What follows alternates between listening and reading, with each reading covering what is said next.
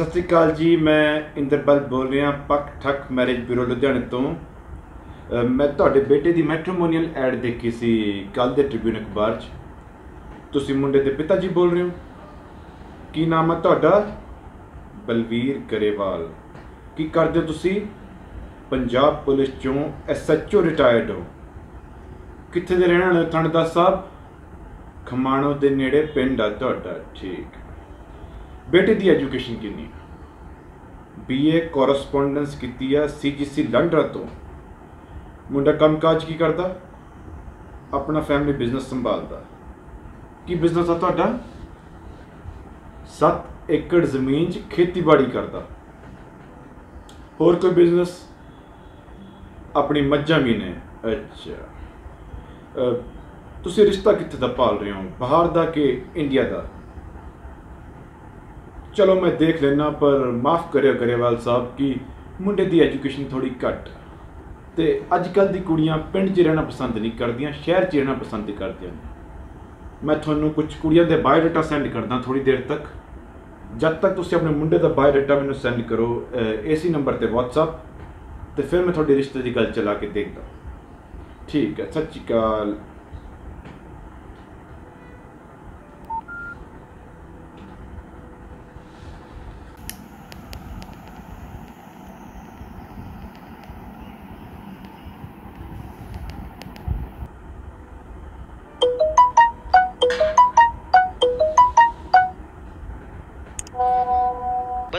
ਦਾ ਖਿਆਲ ਰੱਖਿਓ ਕਿ ਕੁੜੀ ਵਾਲੇ ਸਾਡੀ ਟੱਕਰ ਦੇ ਬੰਦੇ ਹੋਣੇ ਚਾਹੀਦੇ ਨੇ। ਯਾਨੀ ਉਹਨਾਂ ਦਾ ਰਹਿਣ ਸਹਿਣ ਦਾ ਸਟੇਟਸ ਵਧੀਆ ਹੋਵੇ, ਕਿਉਂਕਿ ਸਾਰੀ ਉਮਰ ਸਾਡੇ ਮੁੰਡੇ ਨੇ ਉਹਨਾਂ ਦੇ ਮੂੰਹ ਮੱਥੇ ਲੱਗਣਾ ਤੁਸੀਂ ਇੱਕ ਵਾਰ ਆ ਕੇ ਸਾਡੇ ਘਰ ਦਾ ਸਟੈਂਡਰਡ ਦੇਖ ਲਓ, ਫਿਰ ਉਸ ਹਿਸਾਬ ਨਾਲ ਮੇਰੇ ਪੁੱਤ ਲਈ ਰਿਸ਼ਤੇ ਦੱਸਿਓ।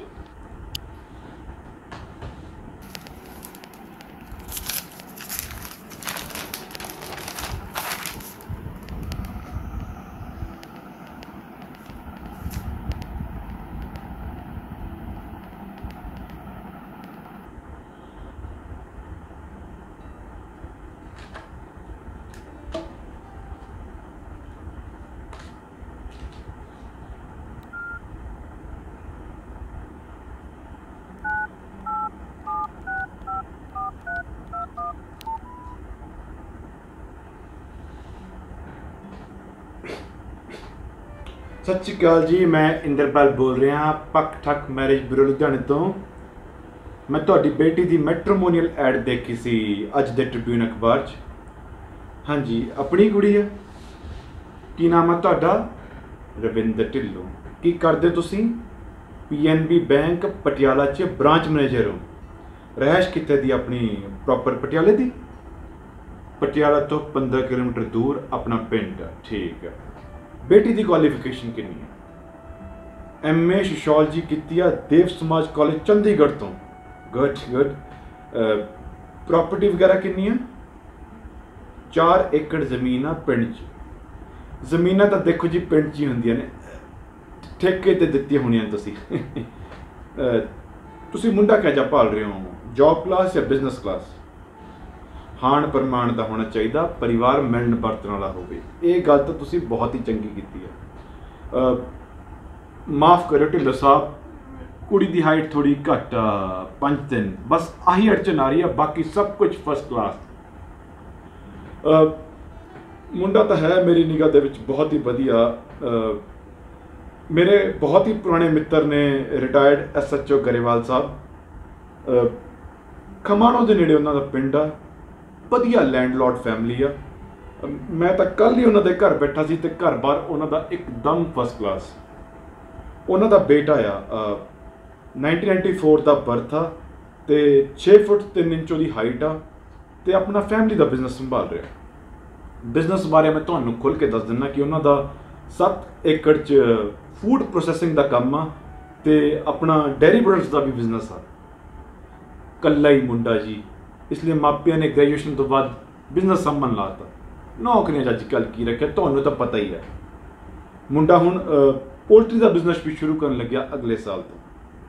ਨਹੀਂ ਨਹੀਂ ਨਹੀਂ ਨਹੀਂ ਮੇਰੀ ਇਸ ਕੰਮ ਦੀ ਫੀਸ ਕੋਈ ਨਹੀਂ ਹੈਗੀ ਜੀ। ਜੋ ਤੁਸੀਂ ਦੇ ਦਿਓ ਮੈਂ ਰਾਜ਼ੀ ਦੇਖੋ ਜੀ, ਮੈਂ ਮੰਨਦਾ ਕਿ ਕੁੜੀਆਂ ਦਾ ਵਿਆਹ ਕਰਾਉਣਾ ਤਾਂ ਸੇਵਾ ਹੁੰਦੀ ਹੈ। ਤੇ ਐਜੇ ਸੇਵਕਾਂ ਨੂੰ ਤਾਂ ਪੈਂਦੀ ਮੁੰਦੀ ਆ।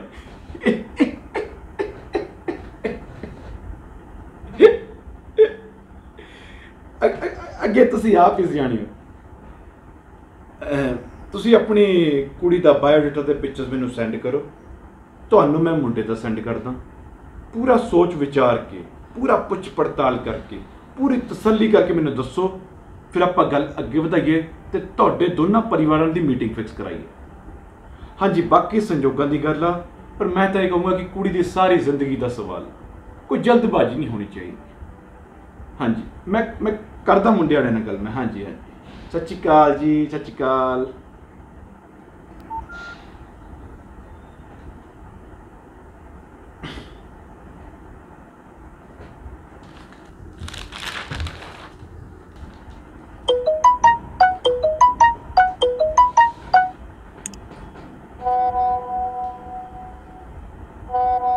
ਮੈਂ ਤੁਹਾਨੂੰ ਆਪਣੀ ਬੇਟੀ ਦੀਆਂ ਕਈ ਤਰੀਕੇ ਦੀਆਂ ਲਾਈਟ ਮੇਕਅਪ ਵਾਲੀਆਂ ਫੋਟੋਆਂ ਭੇਜ ਰਿਹਾ। ਪਹਿਲੀ ਫੋਟੋ ਸੂਟ ਸਲਵਾਰ 'ਚ ਤੇ ਦੂਜੀ ਫੋਟੋ ਵੈਸਟਰਨ ਡਰੈਸ 'ਚ ਆ। ਦੋਨੋਂ ਫੋਟੋਆਂ ਬੈਠੀ ਹੋਈਆਂ ਦੀ ਨੇ, ਤਾਂ ਹੀ ਤੀਜੀ ਫੋਟੋ ਮੈਂ ਖੜੀ ਹੋਈ ਦੀ ਭੇਜ ਰਿਹਾ ਤੇ ਆਹ ਫੋਟੋ ਥੋੜੀ ਇਸ ਲਈ ਥੱਲੇੋਂ ਖਿੱਚੀ ਹੋਈ ਆ ਤਾਂ ਜੇ ਕੁੜੀ ਦੀ ਹਾਈਟ ਜ਼ਿਆਦਾ ਲੱਗੇ। ਤੁਸੀਂ ਆਪਣੇ ਹਿਸਾਬ ਨਾਲ ਅੱਗੇ ਮੁੰਡੇ ਵਾਲਿਆਂ ਨੂੰ ਭੇਜ ਦਿਓ। ਧੰਨਵਾਦ।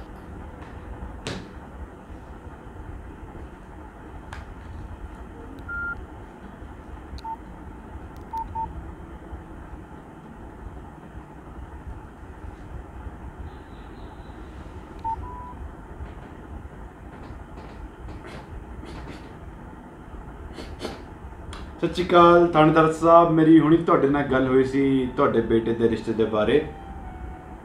ਹਾਂਜੀ ਇੰਦਰਪਾਲ ਬੋਲ ਰਿਹਾ। ਦੇਖੋ ਜੀ, ਸੰਜੋਗਾਂ ਦੀ ਗੱਲ ਆ ਕਿ ਹੁਣੀ ਜਸਟ ਤੁਹਾਡੇ ਨਾਲ ਗੱਲ ਕਰਨ ਤੋਂ ਬਾਅਦ ਮੇਰੇ ਬਹੁਤ ਹੀ ਪੁਰਾਣੇ ਮਿੱਤਰ ਢਿੱਲੋਂ ਸਾਹਿਬ ਦਾ ਮੈਨੂੰ ਫੋਨ ਆਇਆ ਕਿ ਉਹ ਆਪਣੀ ਬੇਟੀ ਦਾ ਰਿਸ਼ਤਾ ਲੱਭਣਾ ਸ਼ੁਰੂ ਕਰ ਰਹੇ ਨੇ ਤੇ ਉਹਨਾਂ ਨੇ ਇਹ ਸਾਰੀ ਜ਼ਿੰਮੇਵਾਰੀ ਮੈਨੂੰ ਸੌਂਪੀ। ਮੈਨੂੰ ਤੁਸੀਂ ਗੱਲਾਂ ਤੋਂ ਬੜੇ ਖਾਨਦਾਨੀ ਬੰਦੇ ਲੱਗੇ। ਇਸ ਲਈ ਮੈਂ ਸੋਚਿਆ ਕਿ ਪਹਿਲਾਂ ਤੁਹਾਨੂੰ ਹੀ ਪੁੱਛ ਲਿਆ ਜਾਵੇ। ਢਿੱਲੋਂ ਸਾਹਿਬ ਪੀਐਨਬੀ ਬੈਂਕ ਪਟਿਆਲਾ 'ਚ ਬ੍ਰਾਂਚ ਮੈਨੇਜਰ ਨੇ ਤੇ ਪਟਿਆਲਾ ਸ਼ਹਿਰ ਦੇ ਨੇੜੇ ਹੀ ਉਹਨਾਂ ਦਾ ਪਿੰਡ। ਆ ਆਸ-ਪਾਸ ਦੇ ਪਿੰਡਾਂ 'ਚ ਵਧੀਆ ਜ਼ਮੀਨਦਾਰ ਬੰਦਿਆਂ 'ਚ ਨਾਮ ਵੱਜਦਾ। ਉਹਨਾਂ ਦੀ ਬੇਟੀ ਆ ਅ, 1996 ਬੋਰਨ ਆ ਤੇ ਐਮਏ ਸੋਸ਼ੀਓਲੋਜੀ ਕੀਤੀ ਹੈ ਚੰਡੀਗੜ੍ਹ ਤੋਂ। ਆਪਣੀ ਬੱਚੀ ਆ ਜੀ ਮੈਂ ਤਾਂ ਛੋਟੀ ਹੁੰਦੀ ਤੋਂ ਦੇਖਦਾ ਆ ਰਿਹਾ। ਬਹੁਤ ਹੀ ਖੂਬਸੂਰਤ ਆ। ਢਿੱਲੋਂ ਸਾਹਿਬ ਦੀ ਵਾਈਫ ਦਾ ਆਪਣਾ ਬੁਟੀਕ ਆ ਤੇ ਕੁੜੀ ਵੀ ਸਾਰਾ ਘਰ ਦਾ ਕੰਮ ਜਾਣਦੀ ਹੈ ਦੇਖੋ ਜੀ, ਸਭ ਤੋਂ ਖਾਸ ਗੱਲ ਇਹ ਆ ਕਿ ਸਧਾਰਨ ਫੈਮਿਲੀ ਹੈ ਆਪਣੇ ਨਾਲ ਰਲਦੇ ਮਿਲਦੇ ਬੰਦੇ ਨੇ। ਫੀਸ ਤਾਂ ਜੀ ਮੇਰੀ ਦੇਖੋ ਜੀ, ਪਹਿਲਾਂ ਹੀ ਦੱਸਣਾ ਚੰਗਾ ਹੁੰਦਾ ਕਿ ਫੀਸ ਤਾਂ ਜੀ ਮੇਰੀ 1 ਲੱਖ ਰੁਪਏ ਆ ਤੇ ਅੱਧੀ ਪੇਮੈਂਟ ਮੈਂ ਰਿੰਗ ਸੈਰਮਨੀ ਤੋਂ ਬਾਅਦ ਲੈਣਾ ਤੇ ਬਾਕੀ ਦੀ ਬਚੀ ਹੋਈ ਪੇਮੈਂਟ ਵਿਆਹ ਤੋਂ ਪਹਿਲਾਂ। ਦੇਖੋ ਜੀ ਕੁੜੀ ਪੜ੍ਹੀ ਲਿਖੀ ਹੈ ਅੱਗੇ ਤੁਹਾਡੇ ਬੱਚੇ ਵੀ ਪੜ੍ਹੇ ਲਿਖੇ ਹੋਣਗੇ ਤੁਸੀਂ ਜੇ ਆਹੀ ਹਾਈਟ weight ਦੇ ਚੱਕਰਾਂ 'ਚ ਰਹੇ ਤੇ ਮੁੰਡੇ ਦੀ ਸਾਰੀ ਉਮਰ ਲੰਘ ਜਾਣੀ ਹੈ ਪਰ ਅਜਾ ਰਿਸ਼ਤਾ ਨਹੀਂ ਲੱਭਣਾ ਮੈਂ ਕੁੜੀ ਵਾਲਿਆਂ ਨੂੰ ਤੁਹਾਡਾ ਬਾਇਓਡਾਟਾ ਸੈਂਡ ਕਰਤਾ ਤੁਹਾਨੂੰ ਮੈਂ ਕੁੜੀ ਵਾਲਿਆਂ ਦਾ ਬਾਇਓਡਾਟਾ ਸੈਂਡ ਕਰ ਦਿੰਨਾ ਤੁਸੀਂ ਪੂਰੇ ਘਰੇ ਸਲਾਹ مشورہ ਕਰਕੇ ਮੈਨੂੰ ਦੱਸੋ ਫਿਰ ਆਪਾਂ ਬੱਚੇ ਨੂੰ ਮਿਲਾਈਏ ਤੇ ਗੱਲ ਪੱਕੀ ਕਰੀਏ ਦੇਖੋ ਜੀ ਮੈਂ ਮੰਨਦਾ ਕਿ ਬੱਚਿਆਂ ਦਾ ਆਪਸ ਵਿੱਚ ਤਾਲਮੇਲ ਬੈਠਣਾ ਬਹੁਤ ਜ਼ਰੂਰੀ ਹੈ ਕਿਉਂਕਿ ਇਹ ਸਾਰੀ ਉਮਰ ਦਾ ਰਿਸ਼ਤਾ ਜਿਹੜਾ ਬੱਚੇ ਨੇ ਨਿਭਾਉਣਾ। ਤੁਹਾਡਾ ਤਾਂ ਮੈਨੂੰ ਪਤਾ ਨਹੀਂ ਤੁਸੀਂ ਹੈਗੇ ਹੋ ਕਿ ਨਹੀਂ, ਪਰ ਮੈਂ ਤਾਂ ਇੱਥੇ ਹੀ ਹਾਂ ਜੀ। ਹਾਂਜੀ। ਹਾਂਜੀ, ਮਿਲਦੇ ਹਾਂ ਜੀ, ਮਿਲਦੇ ਹਾਂ। ਹਾਂਜੀ ਹਾਂਜੀ ਹਾਂਜੀ। ਸਤਿ ਸ਼੍ਰੀ ਅਕਾਲ ਜੀ, ਸਤਿ ਸ਼੍ਰੀ ਅਕਾਲ। ਤੁਸੀਂ ਦੋਨੋਂ ਇੱਥੇ ਬੈਠੋ, ਮੈਂ ਮੇਨ ਹਾਲ 'ਚ ਤੁਹਾਡੇ ਮਾਪਿਆਂ ਨਾਲ ਬੈਠਾ। ਤੁਸੀਂ ਦੋਨੋਂ ਬਸ ਗੱਲਬਾਤ ਕਰਕੇ ਦੱਸੋ ਕਿ ਕਿਹੋ ਜਿਹਾ ਲੱਗਿਆ। ਬਾਕੀ ਹਾਂ ਜਾਂ ਨਾ ਦਾ ਫੈਸਲਾ ਵੱਡਿਆਂ ਤੇ ਛੱਡ ਦਿਓ। ਕਿਉਂਕਿ ਇਕੱਲਾ ਤੁਹਾਡਾ ਰਿਸ਼ਤਾ ਨਹੀਂ ਜੁੜਨਾ ਇਹ ਦੋ ਪਰਿਵਾਰਾਂ ਦਾ ਰਿਸ਼ਤਾ ਜੁੜਨਾ। ਬਸ ਹਾਲ ਚਾਲ ਪੁੱਛ ਲਓ ਜਾਣ ਪਛਾਣ ਤਾਂ ਵਿਆਹ ਤੋਂ ਬਾਅਦ ਹੁੰਦੀ ਰਹੂਗੀ ਹਾਂਜੀ ਕਰੋ ਗੱਲਾਂ ਕਰੋ। ਠੀਕ ਹੈ ਜੀ। ਹੈਲੋ ਹਰਨੀਤ ਮੈਂ ਸਿਮਰਜੀਤ ਗਰੇਵਾਲ ਕਿਵੇਂ ਹੋ ਜੀ? ਠੀਕ ਆ। ਤੁਸੀਂ ਐਮਏ ਸ਼ਸ਼ਾਲ ਜੀ ਚੰਡੀਗੜ੍ਹ ਤੋਂ ਕੀਤੀ ਆ। ਤੁਸੀਂ ਉੱਥੇ ਪੀਜੀ ਰਹਿੰਦੇ ਸੀ?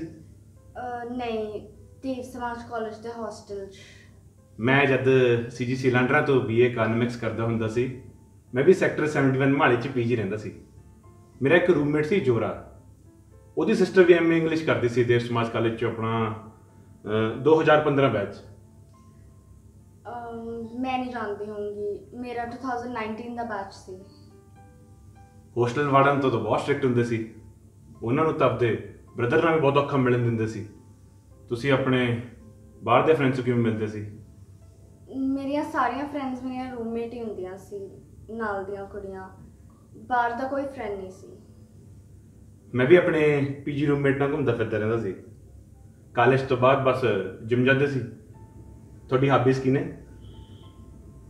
Cooking singing dancing playing badminton and reading books ਕਈ ਵਾਰ ਜਦ ਰਾਤ ਨੂੰ ਨੀਂਦ ਨਹੀਂ ਆਉਂਦੀ ਤਾਂ ਪੂਰੀ ਰਾਤ ਚੁੱਕ ਕਿਤਾਬ ਖਤਮ ਕੀਤੀ ਹੋਈ ਆ। ਤੁਹਾਡੀ? Travelling poetry gymming gun shooting playing volleyball ਪਰ ਅੱਜ ਕੱਲ ਮੈਂ ਸਭ ਕੁਝ ਕਰ ਹੀ ਨਹੀਂ ਪਾਉਂਦਾ ਕਿਉਂਕਿ ਸਾਰਾ ਦਿਨ ਤਾਂ ਕੰਮ 'ਚ ਬਿਜ਼ੀ ਰਹਿਣਾ। ਤੁਸੀਂ ਕੀ ਕਰਦੇ ਰਹਿੰਦੇ ਹੋ ਸਾਰਾ ਦਿਨ? ਮੰਮੀ ਦੀ ਬੁਟੀਕ 'ਚ ਹੈਲਪ ਕਰਦੀ ਆ ਕਲੋਥ ਡਿਜ਼ਾਈਨਿੰਗ ਤੇ ਸਟਿਚਿੰਗ ਦੇ ਕੰਮ 'ਚ ਲੱਗੀ ਰਹਿੰਦੀ ਆ ਹਰ ਟਾਈਮ ਤੇ ਮੇਰਾ ਛੋਟਾ ਬ੍ਰਦਰ 12th 'ਚ ਆ ਕਦੇ ਕਦੇ ਉਹਦੀ ਪ੍ਰੈਕਟੀਕਲ ਫਾਈਲਸ ਬਣਾ ਦਿੰਦੀ ਆ ਫਿਰ ਤਾਂ ਸੂਟ ਵੀ ਤੁਸੀਂ ਆਪੇ ਸਮਾਇਆ ਹੋਊਗਾ। ਬਹੁਤ ਜੱਜ ਰਿਹਾ ਤੁਹਾਡੇ ਤੇ। ਮੇਰੀ ਵੱਡੀ ਰੀਅਲ ਸਿਸਟਰ ਹੁਣ ਮੈਰਿਡ ਨੇ ਆਸਟ੍ਰੇਲੀਆ 'ਚ। ਜਦ ਅਸੀਂ ਦੋਨੋਂ ਸਕੂਲੇ ਪੜ੍ਹਦੇ ਹੁੰਦੇ ਸੀ ਨਾ ਤਾਂ ਉਹ ਵੀ ਮੇਰਾ ਸਾਰਾ ਹੋਮਵਰਕ ਕਰ ਦਿੰਦੀ ਸੀ।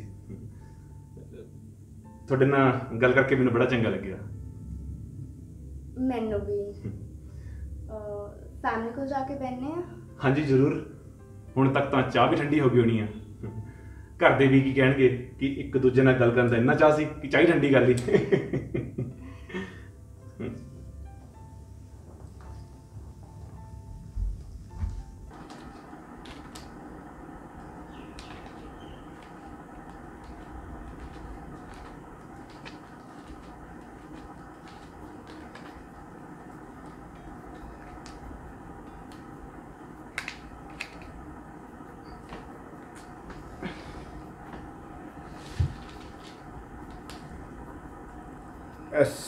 ਐਸਐਚਓ ਗਰੇਵਾਲ ਸਾਹਿਬ ਐਡਵਾਂਸ ਦਿੱਤਾ 10000 ਰੁਪਇਆ।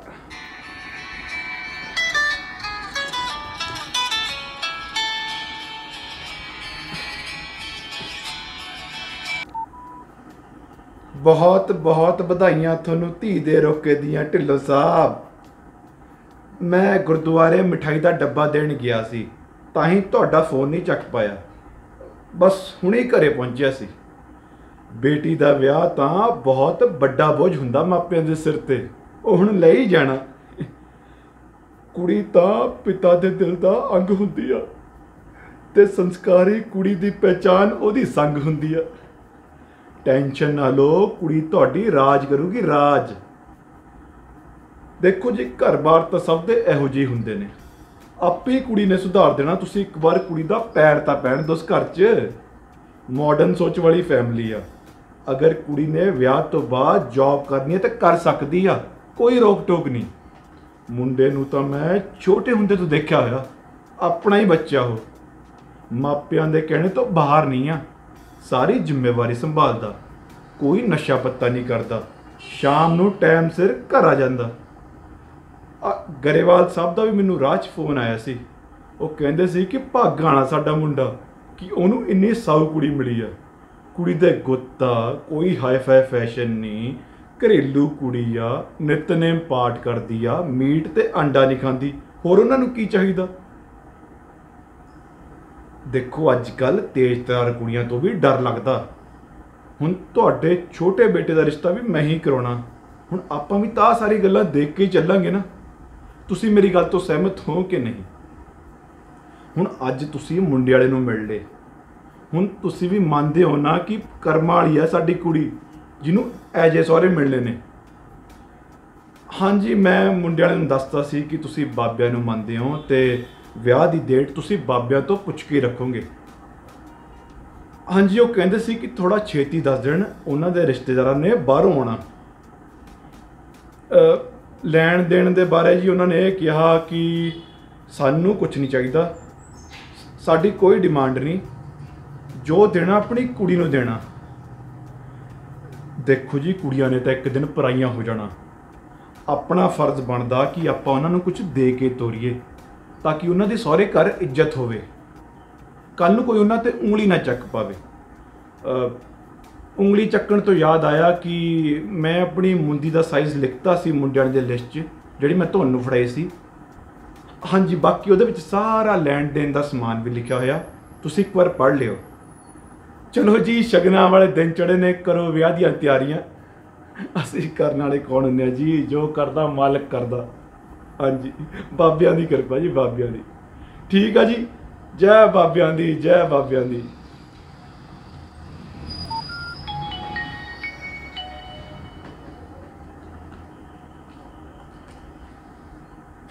Cheers!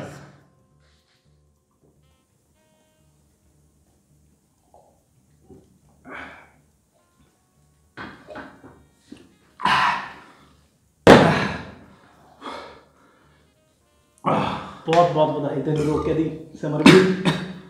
ਹੁਣ ਤਾਂ ਹੋਣ ਵਾਲੀ ਭਾਬੀ ਦੀ ਫੋਟੋ ਦਿਖਾ ਦੇ। ਥੈਂਕ ਯੂ ਭਰਾਵਾ। ਪਰ ਫੋਟੋ ਤੋਂ ਯਾਦ ਆਇਆ ਜੋਰਾ ਭਾਬੀ ਤੇਰੀ ਸਿਸਟਰ ਤੋਂ ਜੂਨੀਅਰ ਸੀ ਦੇਰ ਸਮਾਲ ਕਾਲਜ ਆਪਣੇ ਸਿਸਟਰ ਨੂੰ ਕਹੀਂ ਕਿ ਐਮਏ ਸ਼ਿਸ਼ਾਲ ਜੀ 2019 ਬੈਚ ਦੀ ਹਰਨੀ ਢਿੱਲੋਂ ਬਾਰੇ ਪਤਾ ਕਰਕੇ ਦੱਸਣ ਕਿ ਕਿਹੋ ਜੀ ਕੁੜੀ ਆ, ਕਿਹਦੇ ਨਾਲ ਚੱਕਰ ਚੱਲਦਾ ਸੀ? ਕੌਣ ਹੈ? ਉਹ ਬੇਬੇ ਦਾ ਹਾਂ ਬੇਬੇ। ਹਾਂ, ਜੋਰੇ ਨਾਲ ਬੈਠਾ ਦੇ ਘਰੇ। ਆ ਜਾਊਗਾ ਬੇਬੇ, ਅੱਧੀ ਦਾ ਕਿੱਥੇ ਹੋਈ ਤੂੰ ਸਿਰਫ? 12 ਵਜੇ ਨੇ। ਚਲ ਬਾਪੂ ਨੂੰ ਕਹੇ ਕੁੰਡਾ ਲਾ ਕੇ ਸੌਂ ਜਾ, ਮੈਂ ਕੱਲ ਸਵੇਰੇ ਆ ਜੂ ਹੋ ਜਾਊਗਾ ਜ਼ਿੰਮੇਵਾਰ, ਵਿਆਹ ਤਾਂ ਹੋਣ ਦੇ ਕਮਾਉਣ ਵੀ ਲੱਗ ਜੂ। ਬੇਬੇ, ਮੈਂ ਤੇਰੀ ਸੇਵਾ ਵਾਸਤੇ ਨੂੰ ਲੈ ਕੇ ਆ ਰਿਹਾ ਤੂੰ ਮੈਨੂੰ ਟੋਕੀ ਜਾਂਦੀ ਹੈ। ਹੁਣ ਆਈ ਤਾਂ ਦਿਨ ਨੇ ਯਾਰਾਂ ਬੇਲੀਆਂ ਨਾਲ ਬਾਹਰ ਹੱਸਣ ਟੱਪਣ ਤੇ। ਬਾਅਦ ਵਿੱਚ ਤਾਂ ਘਰ ਦਾ ਰੋਡੂ ਡੱਡੂ ਹੀ ਬਣ ਜਾਣਾ। ਅੱਛਾ, ਮੈਨੂੰ ਇਹ ਦੱਸ, ਬਾਪੂ ਨੇ ਇਹਨਾਂ ਨੂੰ ਗੱਡੀ ਲਈ ਕਹਿਤਾ, ਗੱਡੀ ਡਿੱਗੀ ਵਾਲੀ ਹੋਣੀ ਚਾਹੀਦੀ ਹੈ। ਰਿੰਗ ਸਰਮਨੀ ਤੋਂ ਬਾਅਦ ਕਹਿਣਾ। ਉਹਨਾਂ ਨੂੰ ਕਹੋ ਨਾ ਕਿ ਸਾਡੇ ਨਾਨਕੇ, ਦਾਦਕੇ ਸਾਰੇ ਮੁੰਡਿਆਂ ਨੂੰ ਆਈ ਹੈ। ਜੇ ਸਾਨੂੰ ਨਾ ਆਈ ਤਾਂ ਆਂਢ ਗੁਆਂਢ ਹੱਸੂਗਾ ਸਾਡੇ ਤੇ। ਹਾਂ, ਸੱਚ, ਤੁਹਾਨੂੰ ਦੱਸਿਆ ਸੀ ਨਾ ਕਿ ਹਰਦੀਪ ਨੇ ਅੱਜ ਆਪਣੀ ਚਾਹ 'ਚ ਮਿੱਠਾ ਘੱਟ ਪਾਇਆ ਸੀ। ਕੱਲ ਯਾਦ ਨਾ ਵਿਚੋਲੇ ਨੂੰ ਕਹੋ ਕਿ ਪੁੱਛ ਕੇ ਦੱਸੇ ਕਿ ਕੁੜੀ ਨੂੰ ਕਿਤੇ ਸ਼ੂਗਰ ਤਾਂ ਨਹੀਂ? ਮੈਂ ਕੀਤਾ ਸੀ ਕਾਲ ਦੀਦੀ ਨੂੰ। ਮੈਂ ਕਹਿਤਾ ਸੀ ਕਿ ਹਰਨੀਤ ਦੀ ਫੇਸਬੁੱਕ ਤੇ ਇੰਸਟਾਗ੍ਰam ਪ੍ਰੋਫਾਈਲ ਦੀ ਸਾਰੀ ਪੁਰਾਣੀ ਪੋਸਟਾਂ ਚੈੱਕ ਕਰੋ। ਤੇ ਵਿਆਹ ਨਵੰਬਰ 'ਚ ਕਰਨਾ। ਆ ਜੋਰੇ ਨੂੰ ਤੋਂ ਬਾਅਦ ਚਲੇ ਜਾਣਾ ਕੈਨੇਡਾ। ਬੇਬੇ, ਮੈਂ ਕਹਿੰਦਾ ਹਰਨੀਤ ਦੀ ਅਗਰ ਕੋਈ ਕੁਆਰੀ ਭੈਣ ਹੋਈ, ਉਹਦਾ ਰਿਸ਼ਤਾ ਆਪਾਂ ਜੋਰੇ ਨੂੰ ਕਰਾ ਦਈਏ। ਇਹਨੂੰ ਵੀ ਪਵਾ ਦਿੰਨੇ ਆ ਮੁੰਦੀ। ਇਹ ਔਖਾ ਸੀ। ਕਿ ਸਾਰੇ ਰਿਸ਼ਤੇਦਾਰਾਂ ਨੂੰ ਤਾਂ ਮਿਲਣੀ ਵਾਲੇ ਕੰਬਲ ਤੇ ਕੱਪੜੇ ਮਿਲਣੇ ਨੇ। ਇਹਨੂੰ ਕੁਝ ਨਹੀਂ ਮਿਲਣਾ।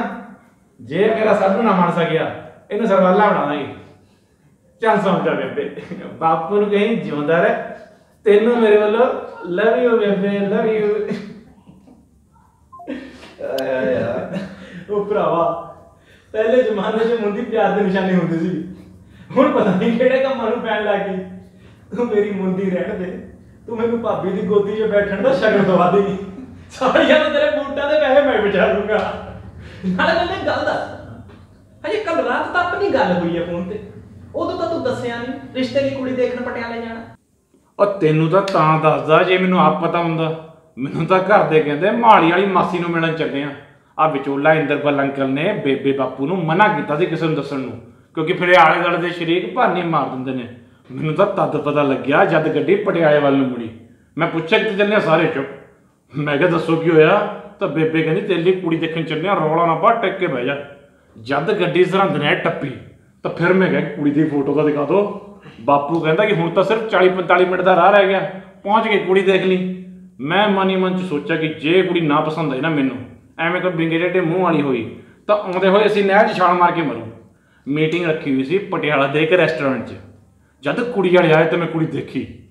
ਮੈਨੂੰ ਲੱਗਿਆ ਕੁੜੀ ਉਮਰ 'ਚ ਥੋੜੀ ਬੜੀ ਲੱਗਦੀ। ਜਦੋਂ ਵਿਚੋਲਾ ਅੰਕਲ ਨੇ ਕਿਹਾ ਕਿ ਮੁੰਡੇ ਕੁੜੀ ਨੂੰ ਆਪਾਂ ਲੱਗ ਤੋਂ ਗੱਲ ਕਰਨ ਦਈਏ, ਉਦੋਂ ਮੈਨੂੰ ਪਤਾ ਲੱਗਿਆ ਕਿ ਉਹ ਤਾਂ ਕੁੜੀ ਦੀ ਚਾਚੀ ਆ। ਕੁੜੀ ਤਾਂ ਸੱਤ ਕੇ ਗੈਸਟ ਰੂਮ 'ਚ ਬੈਠੀ ਆ। ਮੈਨੂੰ ਲੱਗਿਆ ਅੱਜ ਕਿਹੜਾ ਗੱਲ ਪੱਕੀ ਹੋਣੀ ਨਹੀਂ ਹੈ ਮੈਨੂੰ ਪੁੱਛਿਆ ਤਾਂ ਜਾਊਗਾ। ਮੈਨੂੰ ਕੀ ਪਤਾ ਸੀ ਸਾਨੂੰ ਹਾਂ ਜਾਂ ਨਾ ਕਹਿਣ ਦਾ ਮੌਕਾ ਹੀ ਨਹੀਂ ਮਿਲਣਾ।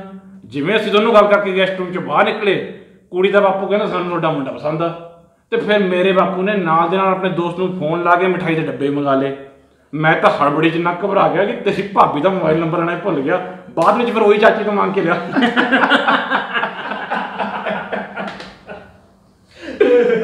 ਆ ਚੱਕ ਫਿਰ ਬਈ ਪਟਿਆਲਾ ਵਾਹ ਪਟਿਆਲਾ 'ਚ।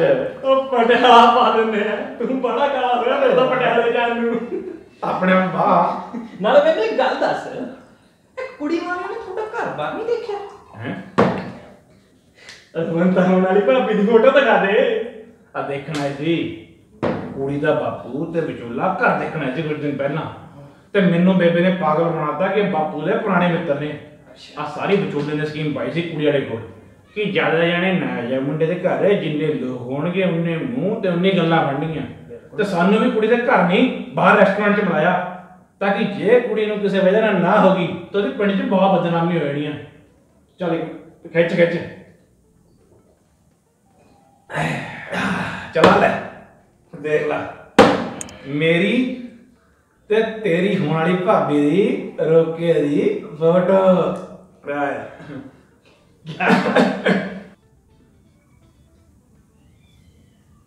ਹੋਏ, ਤੁਸੀਂ ਦੋਨੇ ਤਾਂ ਇੰਜ ਬੈਠੇ ਹੋ, ਜਿਵੇਂ ਕੁੱਟ ਕੇ ਬਿਠਾਏ ਹੁੰਦੇ ਆ। ਨਾਲੇ ਮੈਨੂੰ ਇੱਕ ਗੱਲ ਦੱਸ, ਕੁੜੀ ਕਰੰਟ ਮਾਰਦੀ ਸੀ? ਥੋੜਾ ਨੇੜੇ ਹੋ ਕੇ ਬਹਿ ਜਾਂਦਾ।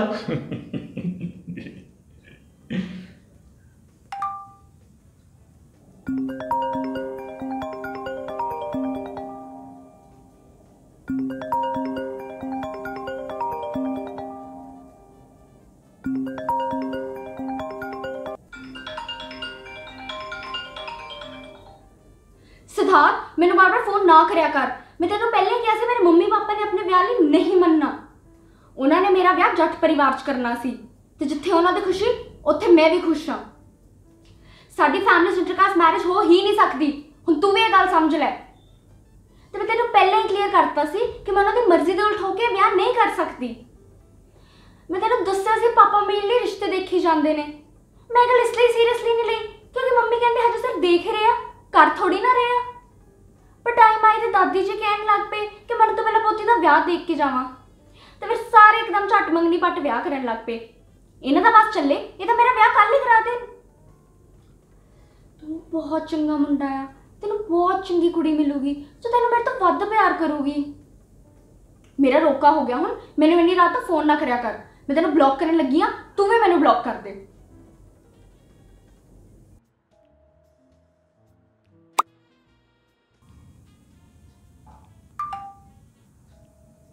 ਕੀ ਬਾਤ ਹੈ। ਭਾਬੀ ਤਾਂ ਬਹੁਤ ਸੋਹਣੀ ਹੈ। ਇੱਕੋ ਹੀ ਫੋਟੋ ਹੈ। ਕਾਲਜ ਐਗਜ਼ਾਮਸ ਦੀ ਰੋਲ ਨੰਬਰ ਸ਼ੀਟ ਤੇ ਆਪਣਾ ਨਾਮ ਹਮੇਸ਼ਾ ਇਕੱਠਾ ਲਿਖਿਆ ਹੁੰਦਾ। ਸਾਨਿਆ ਤੇ ਸਿਮਰ। ਇਹ ਜ਼ਿੰਦਗੀ ਆਪਾਂ ਦੋਨਾਂ ਨੂੰ ਨਾਲ ਨਾਲ ਰੱਖਣਾ ਚਾਹੁੰਦੀ ਆ। ਤੂੰ ਬਸ ਮੁਹੱਬਤ ਦੇ ਇਮਤਿਹਾਨਾਂ 'ਚੋਂ ਪਾਸ ਹੋਣ ਲਈ ਮੇਰੀ ਮਿੱਠੀਆਂ ਗੱਲਾਂ ਨੂੰ ਆਪਣੇ ਦਿਲ ਦੇ ਪੰਨਿਆਂ ਤੇ ਉਤਾਰਦਾ ਰਹਿ। ਉਹ ਭਰਾਵਾ ਹੁਣ ਤੇ ਆਪਣੀ ਤਸਾਨੀਆਂ ਦੀਆਂ ਫੋਟੋਆਂ ਡਿਲੀਟ ਕਰ ਦੇ। ਫੋਨ ਤੋਂ ਤਾਂ ਡਿਲੀਟ ਕਰ ਦੂੰ। ਪਰ ਦਿਲ ਤੋਂ ਕਿਵੇਂ ਡਿਲੀਟ ਕਰਾਂ? ਜੇ ਥੋੜਾ ਸਟੈਂਡ ਲੈ ਦਿੰਦੀ ਅੱਜ ਮੇਰੇ ਨਾਲ ਬੈਠੀ ਹੁੰਦੀ ਰੋਕੀ ਦੀ ਫੋਟੋ 'ਚ। ਮੈਨੂੰ ਅਖੀਰ 'ਚ ਇੱਕ ਗੱਲ ਕਹੀ ਸੀ ਕਿ ਮੈਂ ਤੇਰੇ ਲਈ ਸਭ ਨਾਲ ਲੜ ਕੇ ਖੜਾ ਹੁਣ ਬਾਕੀ ਦੀ ਗੱਲ ਮੈਂ ਤੇਰੇ ਤੇ ਛੱਡੀ ਉਹ ਛੱਡ ਗਈ।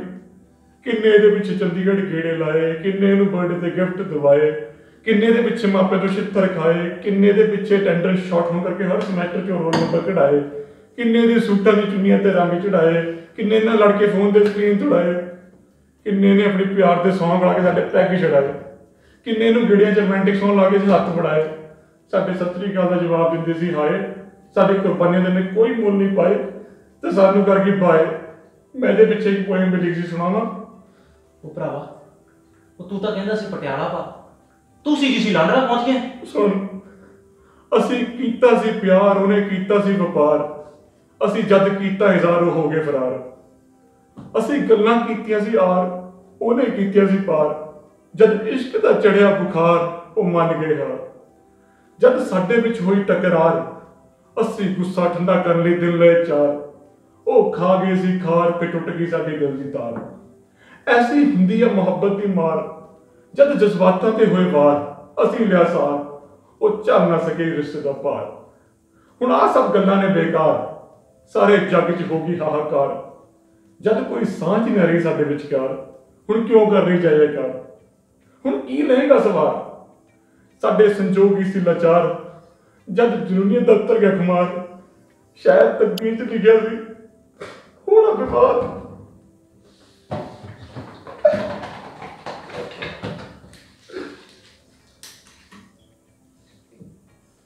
ਓਏ ਓਏ ਨੀਟ ਦਾਰੂ ਨਾ ਪੀ। ਪਾਲੇ ਪਾਣੀ ਫਰਮ ਦ ਜਾਰ ਉਹ ਤੈਨੂੰ ਵਿਆਹ ਤੇ ਮਿਲਣੀ ਆ ਕਾਰ ਫਿਰ ਸੈਲੀਬ੍ਰੇਟ ਕਰਾਂਗੇ ਇਨ ਦ ਬਾਰ ਫਿਰ ਜਾਈ on a long drive very very far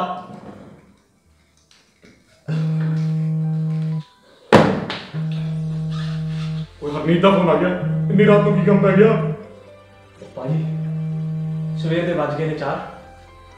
ਮੈਨੂੰ ਆ ਰਹੀ ਨਹੀਂ। ਮੈਂ ਚੱਲਿਆ ਸੋਨ ਗੁੱਡ ਨਾਈਟ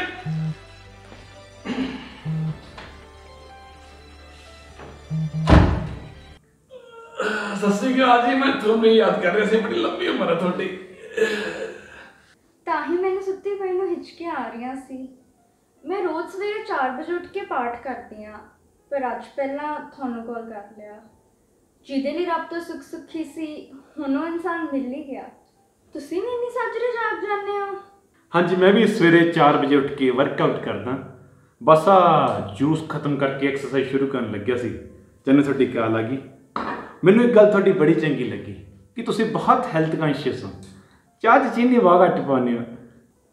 ਹਾਂਜੀ ਮੈਂ ਸ਼ੁਰੂ ਤੋਂ ਮਿੱਠਾ ਘੱਟ ਹੀ ਖਾਂਦੀ ਆ ਨਮਕੀਨ ਬਹੁਤ ਜ਼ਿਆਦਾ ਪਸੰਦ ਆ ਮੈਨੂੰ। ਹਾਂਜੀ ਮੈਨੂੰ ਵੀ ਕੌੜੀ ਚੀਜ਼ਾਂ ਬਹੁਤ ਪਸੰਦ ਨੇ ਪਰ ਤੁਹਾਡੀ ਆਵਾਜ਼ ਬਹੁਤ ਮਿੱਠੀ ਆ। ਕਿਤੇ ਇਹਦੇ ਨਾਲ ਤੁਹਾਨੂੰ ਸ਼ੂਗਰ ਨਾ ਹੋ ਜੇ ਵੈਸੇ ਤੁਸੀਂ ਮੈਨੂੰ ਬਹੁਤ ਪੋਜ਼ਿਟਿਵ ਕੁੜੀ ਲੱਗਦੇ ਹੋ। ਤੁਸੀਂ ਵੀ ਬਹੁਤ ਹਸਮੁਖ ਬੰਦੇ ਹੋ। ਤੁਹਾਡੇ ਨਾਲ ਰਹਿ ਕੇ ਜ਼ਿੰਦਗੀ ਦੇ ਸਾਰੇ ਔਖੇ ਪਲ ਹੱਸਦੇ ਹੱਸਦੇ ਨਿਕਲ ਜਾਣੇ ਨੇ। ਅੱਛਾ ਮੈਂ ਗੱਲ ਪੁੱਛਾਂ। ਜਦ ਤੁਸੀਂ ਮੇਰੇ ਬਾਰੇ ਰਿਸ਼ਤੇ ਦੀ ਗੱਲ ਤੁਰਨ ਤੋਂ ਬਾਅਦ ਆਲੇ ਦੁਆਲੇ ਪਤਾ ਕਰਾਇਆ ਸੀ ਤੁਹਾਨੂੰ ਕੀ ਰਿਵਿਊਜ਼ ਮਿਲੇ ਸੀ? ਕਿਉਂਕਿ ਸਾਨੂੰ ਵਿਚੋਲੇ ਇੰਦਰਬਲ ਅੰਕਲ ਨੇ ਕਿਹਾ ਕਿ ਕੁੜੀ ਬਾਰੇ ਪਤਾ ਕਰਾਉਣ ਦੀ ਕੋਈ ਲੋੜ ਨਹੀਂ ਆਪਣੀ ਕੁੜੀ ਹੈ। ਤੇ ਨਾਲੇ ਉਹਨਾਂ ਨੇ ਇੱਕ ਖਾਸ ਗੱਲ ਹੋਰ ਦੱਸੀ ਸੀ ਕਿ ਤੁਸੀਂ ਇੰਨੀ ਛੇਤੀ ਕਿਸੇ ਰਿਸ਼ਤੇ ਨੂੰ ਹਾਂ ਨਹੀਂ ਕਰਦੇ। ਸਾਡੇ ਵਾਲੇ ਨੂੰ ਅੱਖ ਮੀਚ ਕੇ ਹਾਂ ਕਰਤੀ। ਸਾਨੂੰ ਵੀ ਕਿਹਾ ਸੀ ਕਿ ਮੁੰਡੇ ਬਾਰੇ ਪਤਾ ਕਰਾਉਣ ਦੀ ਲੋੜ ਹੀ ਨਹੀਂ, ਆਪਣੇ ਘਰ ਦਾ ਮੁੰਡਾ। ਸਾਨੂੰ ਵੀ ਉਹਨਾਂ ਨੇ ਤੁਹਾਡੇ ਬਾਰੇ ਇਹ ਜੀ ਖਾਸ ਗੱਲ ਦੱਸੀ ਸੀ ਕਿ ਮੁੰਡੇ ਵਾਲਿਆਂ ਨੂੰ ਹੋਰ ਬਹੁਤ ਕੁੜੀਆਂ ਦੇ ਰਿਸ਼ਤੇ ਆ ਰਹੇ ਨੇ। ਲੇਕਿਨ ਪਹਿਲੀ ਪ੍ਰਾਇੋਰਟੀ ਉਹਨਾਂ ਨੇ ਸਾਨੂੰ ਦਿੱਤੀ ਆ। ਮੰਮੀ ਕਹਿੰਦੇ ਸੀ ਕਿੰਨਾ ਸੋਹਣਾ ਮੁੰਡਾ ਆ। ਮੇਰੇ ਦੋਨੋਂ ਗੱਲਾਂ ਤੇ ਡਿੰਪਲ ਪੈਂਦੇ ਨੇ। ਮੈਨੂੰ ਤਾਂ ਲੋਕੀ ਕਹਿੰਦੇ ਸੀ ਕਿ ਤੈਨੂੰ ਤੇਰੀ ਸੱਸ ਬਹੁਤ ਪਿਆਰ ਕਰੂ। ਮੇਰੀ ਵੀ ਮੰਮੀ ਕਹਿੰਦੀ ਸੀ ਕਿ ਕੁੜੀ ਦੇ ਨੈਣ ਨਕਸ਼ ਬਹੁਤ ਸੋਹਣੇ ਨੇ। ਤੁਹਾਨੂੰ ਵਿਆਹ ਵਾਲੇ ਮੁੰਡੇ 'ਚ ਕੀ ਗੁਣ ਚਾਹੀਦੇ ਸੀ? ਤੁਸੀਂ ਵੀ ਮੰਮੀ ਜੀ ਨੂੰ ਮੇਰੇ ਵੱਲੋਂ ਥੈਂਕ ਯੂ ਕਿਹੋ ਤੇ ਉਹਨਾਂ ਨੂੰ ਕਿਹੋ ਆਪਣੀ ਸਿਹਤ ਦਾ ਧਿਆਨ ਰੱਖਿਆ ਕਰਨ। ਮੈਨੂੰ ਰੋਕੇ ਤੋਂ ਬਾਅਦ ਕਿਵੇਂ ਘੁੱਟ ਕੇ ਜੱਫੀ ਪਾ ਕੇ ਗਏ ਸੀ? ਅਮ, ਵਿਆਹ ਵਾਲੇ ਮੁੰਡੇ 'ਚ ਮੰਮੀ ਪਾਪਾ ਦੀ ਪਸੰਦ ਦਾ ਹੋਵੇ ਮੁੰਡੇ ਕੋਲ ਜ਼ਮੀਨ ਹੋਵੇ ਸੋਹਣਾ ਹੋਵੇ ਸਿਆਣਾ ਹੋਵੇ ਮੇਰੇ ਨਾਲ ਖੜਾ ਜੱਚੇ ਕੁਝ ਖਾਂਦਾ ਪੀਂਦਾ ਨਾ ਹੋਵੇ ਜੱਟ ਹੋਵੇ ਉਹ ਵੀ ਮਾਲਵੇ ਦਾ ਦੁਆਬੇ ਦੇ ਮਾਝੇ ਦਾ ਨਹੀਂ ਚਾਹੀਦਾ। ਤੇ ਮੇਰੀ ਤਾਂ ਇੱਕ ਹੀ ਖੁਆਇਸ਼ ਸੀ ਕਿ ਕੱਲਾ ਕੱਲਾ ਮੁੰਡਾ ਹੋਵੇ। ਮੈਨੂੰ ਦਰਾਣੀ ਜਠਾਣੀ ਦਾ ਸਿਆਪਾ ਨਹੀਂ ਚਾਹੀਦਾ। ਕੁਝ ਖਾਂਦਾ ਪੀਂਦਾ ਨਾ ਹੋਵੇ। ਇਹ ਜਿਹਾ ਮੁੰਡਾ ਤਾਂ ਫਿਰ ਕੌਮਾਂ 'ਚ ਹੀ ਮਿਲੂਗਾ। ਮਜ਼ਾਕ ਕਰ ਰਿਹਾ ਜੀ। ਮੈਨੂੰ ਵੀ ਜੱਟੀ ਮਾਲਵੇ ਏਰੀਏ ਦੀ ਚਾਹੀਦੀ ਸੀ। ਕਿਉਂਕਿ ਮਾਝੇ ਤੇ ਦੁਆਬੇ ਏਰੀਆ ਦੇ ਲੋਕਾਂ ਦੀ ਬੋਲੀ ਅੱਡ ਹੁੰਦੀ ਹੈ ਤੇ ਰਿਵਾਜ ਬਹੁਤ ਵੱਖਰੇ ਹੁੰਦੇ ਨੇ। ਤੇ ਮੈਂ ਵੀ ਜੁਆਇੰਟ ਫੈਮਿਲੀ 'ਚ ਨਹੀਂ ਰਹਿ ਸਕਦਾ। ਐਵੇਂ ਹਰ ਟਾਈਮ ਗਾਹ ਪਿਆ ਰਹਿੰਦਾ। ਤੁਹਾਡੇ ਘਰੇ ਲਵ ਮੈਰਿਜ ਕਰਾਉਣੀ ਅਲਾਊਡ ਆ ਬਿਲਕੁਲ ਵੀ ਨਹੀਂ। ਮੈਨੂੰ ਤਾਂ ਘਰਦਿਆਂ ਨੇ ਪਹਿਲਾਂ ਹੀ ਕਹਿਤਾ ਸੀ ਕਿ ਜੇ ਲਵ ਮੈਰਿਜ ਕਰਾਈ ਤੇ ਵਿਆਹ ਤੋਂ ਬਾਅਦ ਕੁਛ ਅਣਬਣ ਹੋਈ ਤੇ ਸਾਡੇ ਕੋਲ ਮੁੜ ਕੇ ਨਾ ਆਈ। ਮੈਨੂੰ ਤਾਂ ਪਬਲਿਕ ਰਿਲੇਸ਼ਨਸ ਦੀ ਜੌਬ ਵੀ ਨਹੀਂ ਕਰਨ ਦਿੱਤੀ। ਕਹਿੰਦੇ ਘਰ ਦੇ ਕੰਮ ਸੇ। ਸਾਨੂੰ ਤੇਰੇ ਵਿਆਹ ਤੋਂ ਬਾਅਦ ਸਹੁਰੇ ਘਰੋਂ ਲਾਂਭਾ ਨਹੀਂ ਆਣਾ ਚਾਹੀਦਾ ਵੀ ਕੁੜੀ ਨੂੰ ਕੁਝ ਸਿਖਾ ਕੇ ਨਹੀਂ ਤੋਰਿਆ। ਫਿਰ ਮੈਂ ਕੁਕਿੰਗ ਸਿੱਖੀ। ਸਾਡੇ ਵੀ ਘਰੇ ਲਵ ਮੈਰਿਜ ਕਰਾਉਣੀ ਅਲਾਊਡ ਨਹੀਂ। ਘਰ ਦੇ ਮੈਨੂੰ ਕਹਿੰਦੇ ਕਿ ਤੂੰ ਭੋਲਾ ਜਿਹਾ ਹੈਗਾ, ਤੈਨੂੰ ਕਿਸੇ ਚੁਸਤ ਕੁੜੀ ਨੇ ਮਿੱਠੀਆਂ ਮਾਰ ਕੇ ਫਸਾ ਲੈਣਾ ਤੇ ਆਪਣਾ ਘਰ ਪੱਟ ਦਵਾ ਕੇ ਮੈਂ ਵੀ ਗ੍ਰੈਜੂਏਸ਼ਨ ਤੋਂ ਬਾਅਦ 3 ਸਾਲ ਦੀ ਐਲਐਲਬੀ ਕਰਨਾ ਚਾਹੁੰਦਾ ਸੀ, ਪਰ ਘਰ ਦੇ ਕਹਿੰਦੇ ਕਿ ਜਦ ਅੱਗੇ ਚੱਲ ਕੇ ਫੈਮਿਲੀ ਦਾ ਬਿਜ਼ਨਸ ਹੀ ਸਾਂਭਣਾ, ਤਾਂ ਲਾ ਕਰਨ ਦਾ ਕੀ ਫਾਇਦਾ? ਤੁਹਾਨੂੰ ਡਰਾਈਵਿੰਗ ਆਉਂਦੀ ਹੈ? ਥੋੜੀ ਬਹੁਤ। ਤੁਹਾਡੇ ਰੀਅਲ ਸਿਸਟਰ ਦਾ ਮੈਸੇਜ ਆਇਆ ਸੀ ਮੈਨੂੰ ਇੰਸਟਾਗ੍ਰam ਤੇ। ਬਹੁਤ ਸਵੀਟ ਨੇ ਉਹ। ਮੈਨੂੰ ਕਹਿੰਦੇ, ਹੁਣ ਤੂੰ ਸਿਰਫ ਮੇਰੀ ਭਾਬੀ ਹੀ ਨਹੀਂ, ਮੇਰੀ ਬੈਸਟ ਫਰੈਂਡ ਵੀ ਆ। ਅਗਰ ਕੋਈ ਵੀ ਗੱਲ ਸ਼ੇਅਰ ਕਰਨੀ ਹੋਈ ਤਾਂ ਦਿਲ ਖੋਲ ਕੇ ਕਰ ਸਕਦੀ ਆ। ਉਹਨਾਂ ਨੇ ਮੇਰੀਆਂ ਸਾਰੀਆਂ ਪੁਰਾਣੀਆਂ ਫੋਟੋਜ਼ ਵੀ ਲਾਈਕ ਕੀਤੀਆਂ ਨੇ। ਦੀਦੀ, ਬਹੁਤ ਮਿਲਣਸਾਰ ਆ ਉਹ ਤਾਂ ਜਾਣ ਪਛਾਣ ਵਧਾਰੀ ਹੋਣੀ ਆ, ਤਾਂ ਕਿ ਤੁਹਾਡੀ ਦੋਸਤੀ ਗਹਿਰੀ ਹੋ ਜਾਵੇ ਤੇ ਫਿਰ ਤੁਸੀਂ ਦੋਨੋਂ ਮਿਲ ਕੇ ਮੇਰੀ ਖਿਚਾਈ ਕਰ ਸਕੋ। ਮੈਂ ਕੱਲ ਇੱਕ ਪੋਇਮ ਲਿਖੀ ਸੀ, ਮੇਰਾ ਇੱਕ ਫਰੈਂਡ ਆ, ਜੋਰਾ। ਤੁਹਾਨੂੰ ਦੱਸਿਆ ਸੀ ਨਾ ਕਿ ਜਿਹੜਾ ਮੇਰਾ ਪੀਜੀ ਰੂਮਮੇਟ ਸੀ ਤੇ ਜਿਹਦੀ ਸਿਸਟਰ ਤੁਹਾਡੇ ਕਾਲਜ 'ਚ ਸੀਨੀਅਰ ਸੀ, ਉਹਦਾ ਦਿਲ ਟੁੱਟਿਆ ਹੋਣੀ ਹੋਣੀ। ਉਹਦੀ ਸਹੇਲੀ ਧੋਖਾ ਦੇ ਗਈ ਉਹਨੂੰ। ਵਿਚਾਰਾ ਸਾਰਾ ਦਿਨ ਕਮਰੇ 'ਚ ਪੜਿਆ ਰਹਿੰਦਾ, ਬਾਹਰ ਨਿਕਲਦੇ ਹੀ ਨਹੀਂ ਕਿਉਂਕਿ ਪਿਆਰ 'ਚ ਬਣਨਾ ਸੌਖਾ, ਨਿਕਲਣਾ ਬਹੁਤ ਔਖਾ। ਉਹਦੀ ਪਰਿਸਥਿਤੀ ਨੂੰ ਨਜ਼ਰ ਵਿੱਚ ਰੱਖ ਕੇ ਲਿਖੀ ਆ। ਸੁਣੋ ਪੋਇਮ ਦਾ ਨਾਮ ਆ ਵਗਾਰ। ਮੇਰੀ ਤੇਰੇ ਲਈ ਸ਼ਿੱਦਤ ਸੀ ਬੇਸ਼ੁਮਾਰ। ਤੂੰ ਕਰ ਗਈ ਮੇਰੇ ਨਾਜ਼ੁਕ ਮਨ ਦਾ ਸ਼ਿਕਾਰ। ਮੇਰੀ ਰੂਹ ਨਹੀਂ ਕਰ ਪਾ ਰਹੀ ਸਵੀਕਾਰ ਕਿ ਇੰਜ ਹੋਊਗਾ ਦੋ ਜਿਸਮਾਂ ਦਾ ਇਕਰਾਰ। ਤੂੰ ਹੋਏਂਗੀ ਕੋਈ ਹੂਰ ਫਨਕਾਰ। ਤੈਨੂੰ ਇਸੇ ਗੱਲ ਦਾ ਸੀ ਹੰਕਾਰ। ਤੂੰ ਮੇਰੀ ਅਣਖ ਨੂੰ ਨਾ ਲਲਕਾਰ ਤੇ ਤੂੰ ਸੁਣਿਆ ਨਹੀਂ ਜਾਣਾ ਸਾਸ਼ਿਕ ਦੀ ਪੁਕਾਰ। ਤੂੰ ਇਸ ਗੱਲ ਨੂੰ ਨਾ ਨਕਾਰ।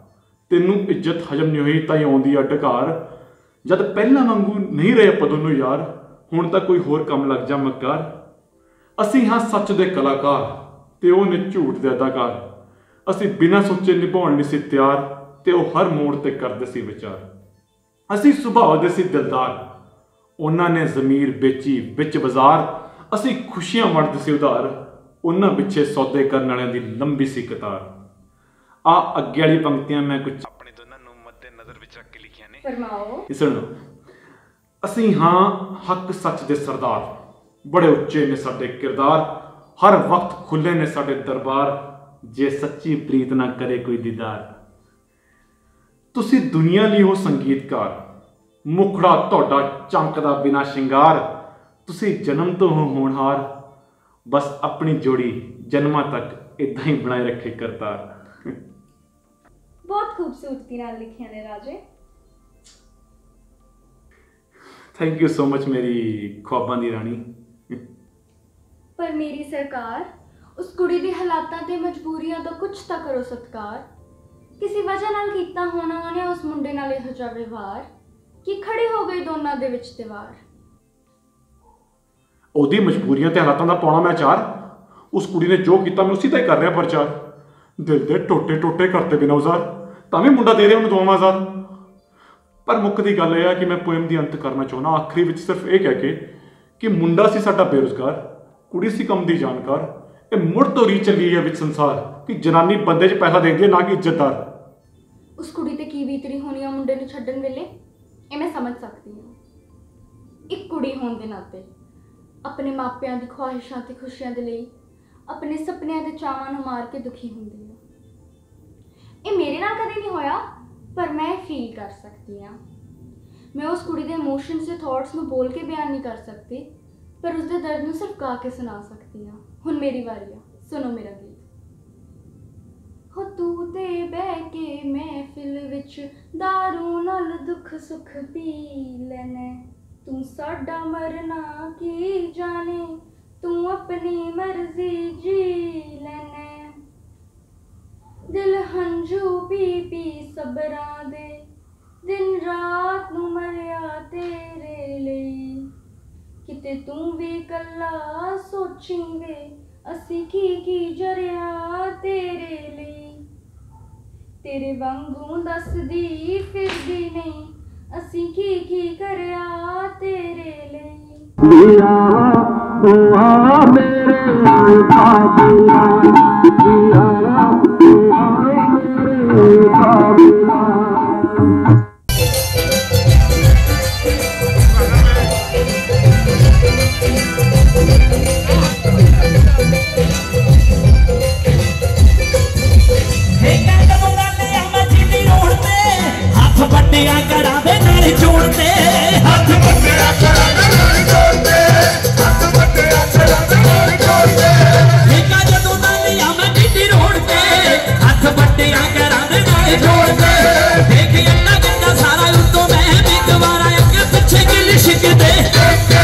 ਕਿਹੜਾ ਜੰਮ ਪਿਆ ਸੂਰਮਾ? ਜਿਹੜਾ ਜੰਮ ਪਿਆ ਸੂਰਮਾ? ਜਿਹੜਾ ਜਿਹੜਾ ਜੰਮ ਪਿਆ ਸੂਰਮਾ?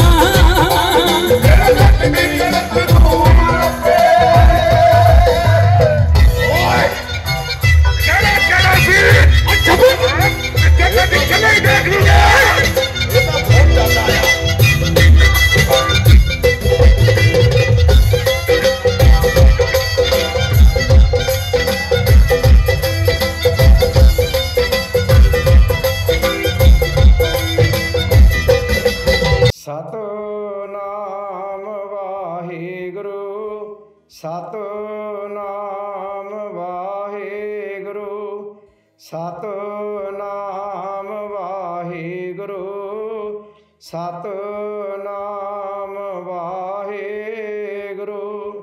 ਜਪੋ ਸਤਨਾਮ ਸਤਨਾਮ ਸਤਨਾਮ ਜੀ। ਵਾਹਿਗੁਰੂ ਵਾਹਿਗੁਰੂ ਵਾਹਿਗੁਰੂ ਜੀ, ਜਪੋ ਸਤਨਾਮ ਸਤਨਾਮ। ਸਤਨਾਮ ਜੀ। ਵਾਹਿਗੁਰੂ ਵਾਹਿਗੁਰੂ ਵਾਹਿਗੁਰੂ ਜੀ ਜਪੋ। ਸਤਨਾਮ ਸਤਨਾਮ ਸਤਨਾਮ ਜੀ। ਵਾਹਿਗੁਰੂ ਵਾਹਿਗੁਰੂ ਵਾਹਿਗੁਰੂ ਜੀ, ਵਾਹਿਗੁਰੂ। ਬਾਬੁਲ ਦੇਵੀ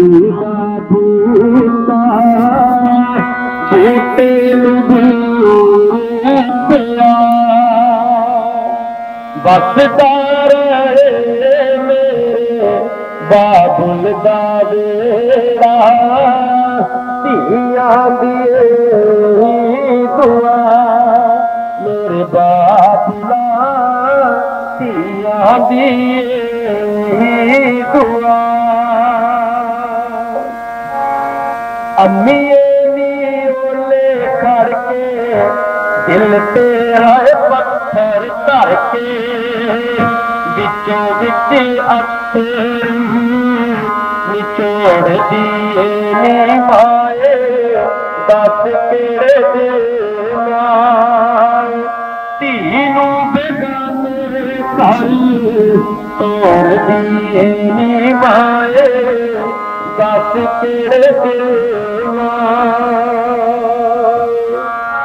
بابل ڪيڏو تريا مور تريا اتي ڪر تون مٿان تي پڙهيا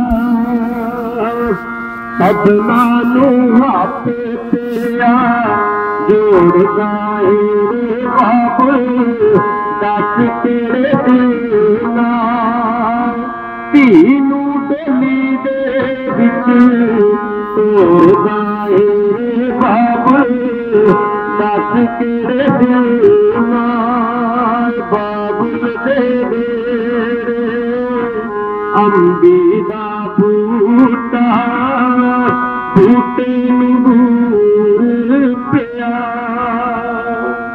बस तार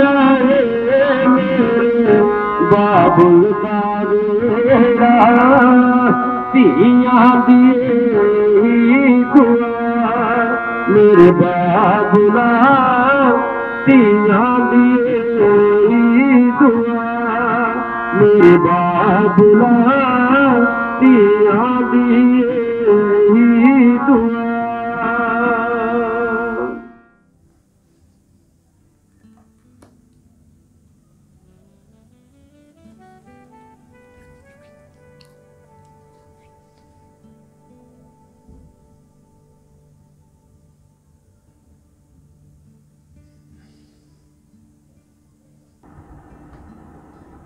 ਅਗਰ ਕਿਸੇ ਇਨਸਾਨ ਨੂੰ ਫਸਾਉਣਾ ਨਾ, ਤਾਂ ਮੱਖਣ ਤਾਂ ਲਾਉਣਾ ਹੀ ਪੈਂਦਾ।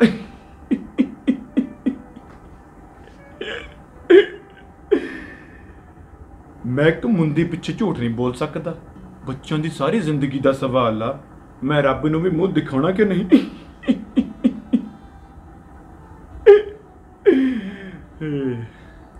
ਇਹ ਅਖਬਾਰ ਰਿਸ਼ਤਿਆਂ ਦੀ ਮੰਡੀ ਆ, ਮੰਡੀ। ਇੱਥੇ ਲੋਕਾਂ ਨੂੰ ਜੀਵਨ ਸਾਥੀ ਮਿਲਣ ਦੇ ਇਲਾਵਾ ਹੋਰ ਫਾਇਦਾ ਹੋਣਾ ਚਾਹੀਦਾ। ਪੈਸਾ ਚਾਹੀਦਾ, ਸਮਾਜ 'ਚ ਦਿਖਾਵਾ ਚਾਹੀਦਾ। ਇਹ ਲਾਲਚ ਦੇ ਵਪਾਰ ਨੂੰ ਸੱਭਿਆਚਾਰ ਕਹਿੰਦੇ ਨੇ। ਇੱਥੇ ਕਿਸੇ ਨੂੰ ਪਿਆਰ ਨਹੀਂ ਚਾਹੀਦਾ ਪੀਆਰ ਚਾਹੀਦਾ।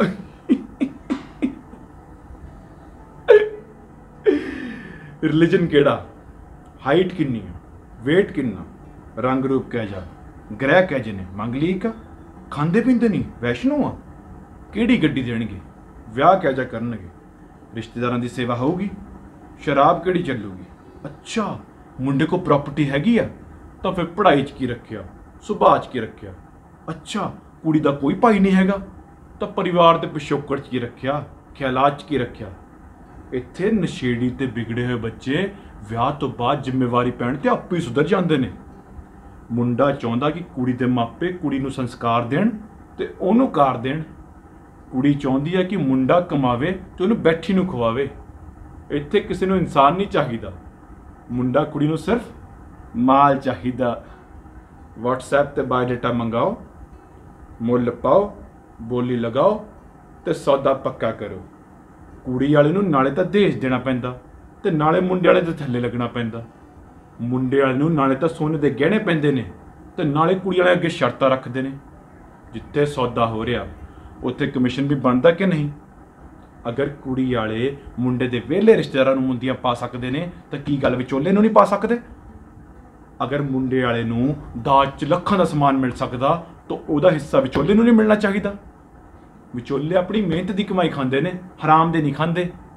ਜਿਹੜੇ ਜਵਾਕ ਦੀ ਕੋਈ ਵਾਰੰਟੀ ਨਾ ਲਵੇ, ਉਹਦੀ ਅਸੀਂ ਗਾਰੰਟੀ ਲੈਂਦੇ ਆ ਹੋਣਹਾਰ ਕੁੜੀਆਂ ਨੂੰ ਆਪਣੀ ਮਰਜ਼ੀ ਦਾ ਮੁੰਡਾ ਲੱਭਣ ਦਾ ਹੱਕ ਉਹਦੇ ਮਾਪੇ ਨਹੀਂ ਦਿੰਦੇ। ਮੁੰਡਿਆਂ ਨੂੰ ਪੂਰਾ ਹੱਕ ਹੈ। ਲੇਕਿਨ ਨਿਕੰਮੇ ਮੁੰਡਿਆਂ ਨੂੰ ਕੋਈ ਕੁੜੀ ਹਾਂ ਨਹੀਂ ਕਰਦੀ। ਫਿਰ ਸਮਾਜ ਦੀ ਆੜ ਲੈ ਕੇ ਪਤਾ ਕੀ ਕਹਿੰਦੇ ਨੇ? ਚੰਗੇ ਘਰ ਦੇ ਬੱਚੇ ਆਪਣੀ ਮਰਜ਼ੀ ਨਾਲ ਵਿਆਹ ਨਹੀਂ ਕਰਾਉਂਦੇ। ਦੂਜੀ ਜਾਤ ਦਾ ਸਿਕੰਦਰ ਵੀ ਨਹੀਂ ਚੱਲੂ। ਆਪਣੀ ਜਾਤ ਦਾ ਬਾਂਦਰ ਵੀ ਚੱਲੂ। ਆਪਣੀ ਜ਼ਮੀਰ ਨੂੰ ਮਾਰ ਕੇ ਆਪਣੇ ਬੱਚਿਆਂ ਨੂੰ ਵੇਚਦੇ ਨੇ ਤਾਂ ਕਿ ਸਮਾਜ 'ਚ ਫੋਕੀ ਇੱਜ਼ਤ ਕਮਾ ਕੇ ਆਪਣੀ ਅਗਲੀ ਪੀੜ੍ਹੀ ਨੂੰ ਜਨਮ ਦੇ ਸਕਣ। ਇਦਾਂ ਚਾਲੂ ਹੋਇਆ ਲੁੱਟਣ ਦਾ ਸੱਭਿਆਚਾਰ।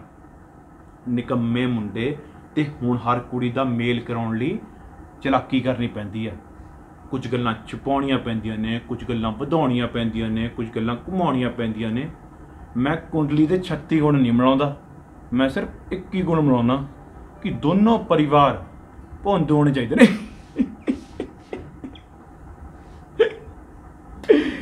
ਤਾਂ ਹੀ ਮੁੰਡੇ ਕੁੜੀ ਦੇ ਮਾਪਿਆਂ ਦਾ ਕੰਮ ਆ, ਵਿਚੋਲਾ ਰੱਖਣਾ ਤੇ ਮੇਰਾ ਕੰਮ ਆ, ਵਿੱਚ ਓਲਾ ਰੱਖਣਾ।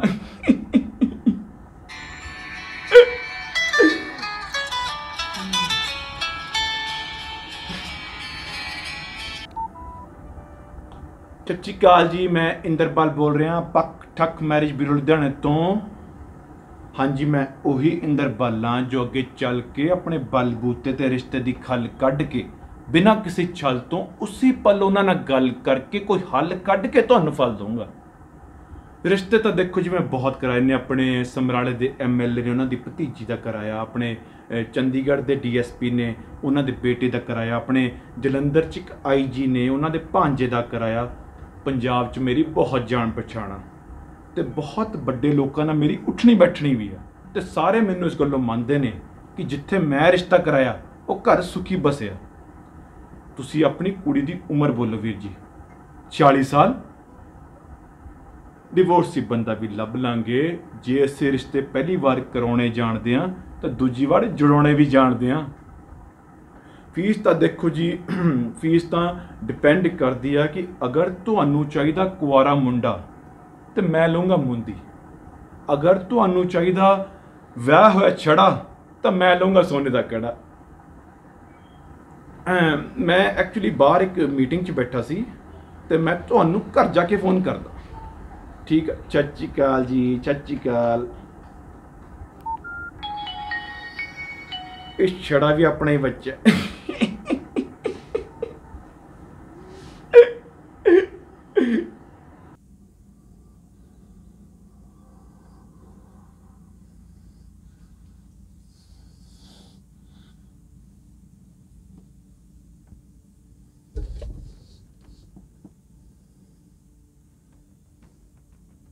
ਸਿਧਾਰਥ ਤੇਰੇ ਸਭ ਚੱਕਰ ਪਤਾ ਲੱਗ ਰਹੇ ਨੇ ਸਾਬ ਕਿ ਫਰੈਸ਼ਰਸ ਤੇ ਫੇਅਰਵੈਲ ਪਾਰਟੀ 'ਚ ਤੇਰੇ ਬਾਹਰੋਂ ਕੌਣ ਕੱਪੜੇ ਪ੍ਰੈਸ ਕਰਾਉਂਦਾ ਸੀ ਤੇ ਕੌਣ ਐਗਜ਼ਾਮਸ ਤੋਂ ਪਹਿਲਾਂ ਤੇਰੇ ਨੋਟਸ ਫੋਟੋਸ਼ੂਟ ਕਰਾਉਂਦਾ ਸੀ ਸਾਨਿਆ ਤੇਰਾ ਵੀ ਗੱਲ-ਗੱਲ ਤੇ ਭਾਵੁਕ ਹੋਣ ਰਾਸ ਪਤਾ ਲੱਗ ਗਿਆ ਮੈਨੂੰ ਕਿ ਕਾਲਜ ਦੀ ਕੈਂਟੀਨ 'ਚ ਕਿਤੇ ਛੋਲੇ ਕੁਲਚੇ ਫ੍ਰੀ ਕਰਾਏ ਜਾਂਦੇ ਸੀ ਤੇ ਕਿਤੇ ਬਰਥਡੇ ਪਾਰਟੀ ਸ਼ਿਮਲਾ 'ਚ ਮਨਾਈ ਜਾਂਦੀ ਸੀ ਪਾਠ ਕਰਦੀ ਐ ਕੁੜੀ ਜਦ ਤੱਕ ਤੂੰ ਆਈ ਨਾ ਸਾਡੇ ਘਰ ਵਿੱਚ ਮੈਂ ਪਾਠ ਕਰਨ ਲੱਗ ਪਿਆ ਕਿ ਕਦ ਤੇਰੇ ਅੰਦਰੋਂ ਚੁੜੈਲ ਜਾਊਗੀ। ਕਹਿੰਦੇ, ਕੁੜੀ ਘਰ ਦਾ ਸਾਰਾ ਕੰਮ ਜਾਣਦੀ ਆ। ਇਹ ਕੌਣ ਦੱਸੂਗਾ ਕਿ ਕੰਮ ਖਰਾਬ ਕਰਨਾ ਜਾਣਦੀ ਆ? ਮੇਰੀ ਮੰਮੀ ਨੇ ਤੇਰੇ ਸਿਰ ਦੁੱਧ ਤੋਂ ਪਾਣੀ ਵਾਰ ਕੇ ਪੀਤਾ ਸੀ। ਤੂੰ ਤਾਂ ਮੇਰੀ ਮੰਮੀ ਦਾ ਲਹੂ ਹੀ ਪੀ ਗਈ। ਮਾਪਿਆਂ ਨੇ ਸਹੀ ਨਾਮ ਰੱਖਿਆ ਹਰਨੀਤ ਹਰ ਕੰਮ 'ਚ ਤੇਰੀ ਨੀਤ ਮਾੜੀ ਆ। ਤੂੰ ਵੀ ਰੱਬ ਨੂੰ ਸਿਮਰ ਲਿਆ ਕਰ ਸਿਮਰਜੀਤ। ਹਰ ਵੇਲੇ ਆਪਣੀ ਮਾਂ ਦੀਆਂ ਗੱਲਾਂ ਨੂੰ ਸਿਮਰਦਾ ਰਹਿੰਦਾ। ਮੁੰਡਾ ਬਹੁਤ ਮਿਹਨਤੀ ਆ। ਰਾਤ ਨੂੰ 7 ਵਜੇ ਤੋਂ ਲੈ ਕੇ 11 ਵਜੇ ਤੱਕ ਖੂਨ ਪਸੀਨਾ ਇੱਕ ਕਰਕੇ ਆਪਣੇ ਦੋਸਤਾਂ ਨਾਲ ਮੋਟਰ ਤੇ ਬਹਿ ਕੇ ਫ੍ਰੀ ਦੀ दारू ਪੀਂਦਾ। ਹਰ ਫੈਮਿਲੀ ਗੈਟ ਟੂਗੇਦਰ 'ਚ ਤੂੰ ਇੰਨਾ ਟੁੰਨ ਹੋ ਜਾਂਦਾ ਕਿ ਤੈਨੂੰ ਲੱਦ ਕੇ ਗੱਡੀ ਦੀ ਬੈਕ ਸੀਟ ਤੇ ਲਿਆਉਣਾ ਪੈਂਦਾ। ਫਿਰ ਅਗਲੇ ਦਿਨ ਸਵੇਰੇ ਐਵੇਂ ਹੌਂਦਾ ਜਿਵੇਂ ਸਰੀਰ 'ਚ ਕੀੜੇ ਪਏ ਹੁੰਦੇ ਨੇ। ਤੇਰਾ ਪਿਓ, ਜਿਹੜਾ ਮੈਨੂੰ ਆਪਣੀ ਕੁੜੀ ਨੂੰ ਵਸੀਅਤ ਦੇਣ ਦੀ ਧਮਕੀ ਦਿੰਦਾ ਸੀ ਨਾ, ਜੇ ਮੈਂ ਇਹਨੂੰ ਬੁਢਾਪੇ 'ਚ ਪਾਣੀ ਦਾ ਗਲਾਸ ਵੀ ਪੁੱਛ ਲਿਆ, ਤਾਂ ਮੈਂ ਆਪਣੇ ਪਿਓ ਦੀ ਧੀ ਨਹੀਂ ਭੇੜੀਆ ਕਿਸੇ ਥਾਂ ਦਾ। ਅੱਛਾ।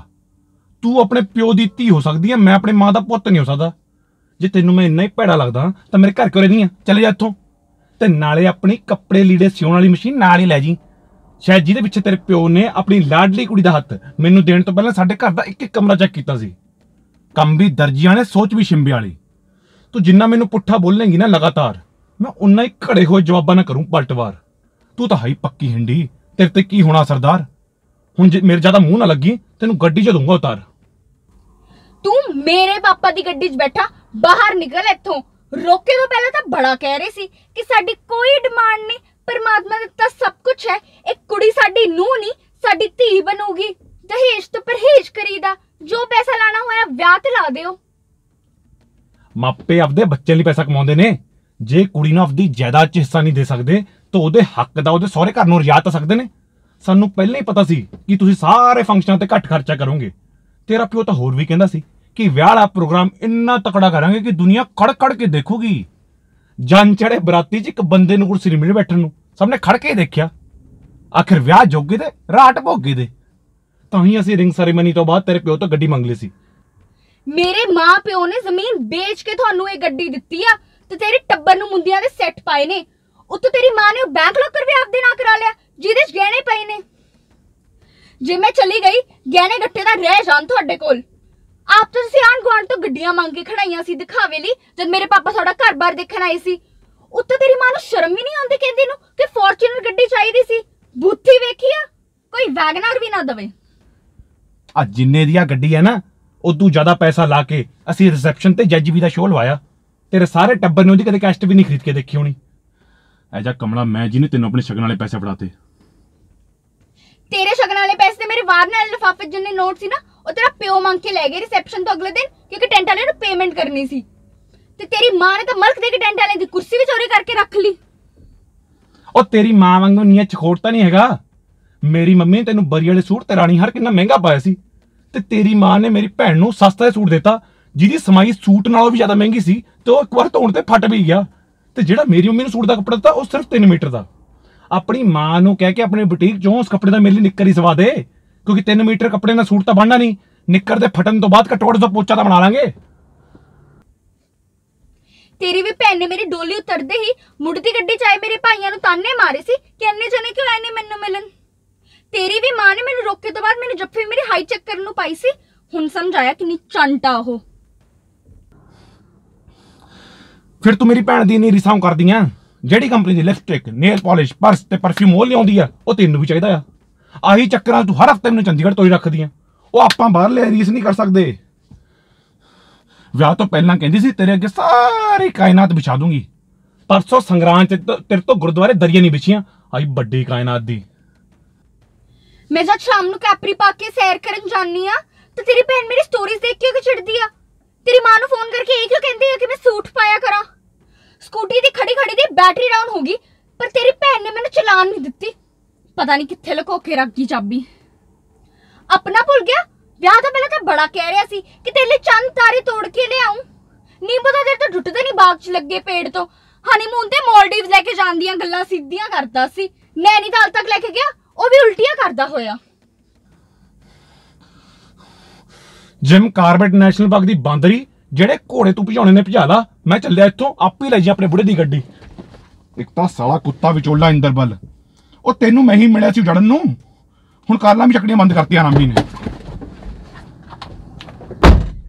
ਮੈਂ ਵੀ ਚੱਲੀ ਆ ਪਤੰਦਰਾ। ਹੁਣ ਆਪਣੀ ਬੁੜੀ ਨੂੰ ਕਹੀ ਕਿ ਆਪਣੇ ਘਰ ਦੇ ਕੰਮ ਆਪੇ ਹੀ ਸੰਭੇ।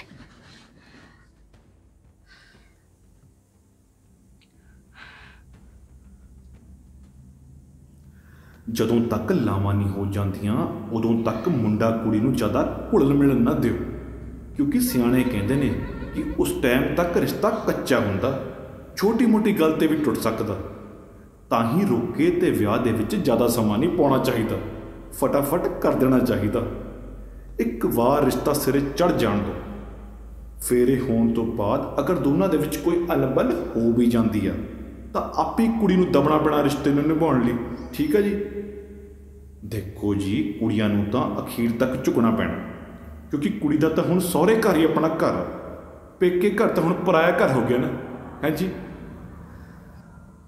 ਛੱਡ ਕੇ ਜਾਊਗੀ ਵੀ ਕਿੱਥੇ?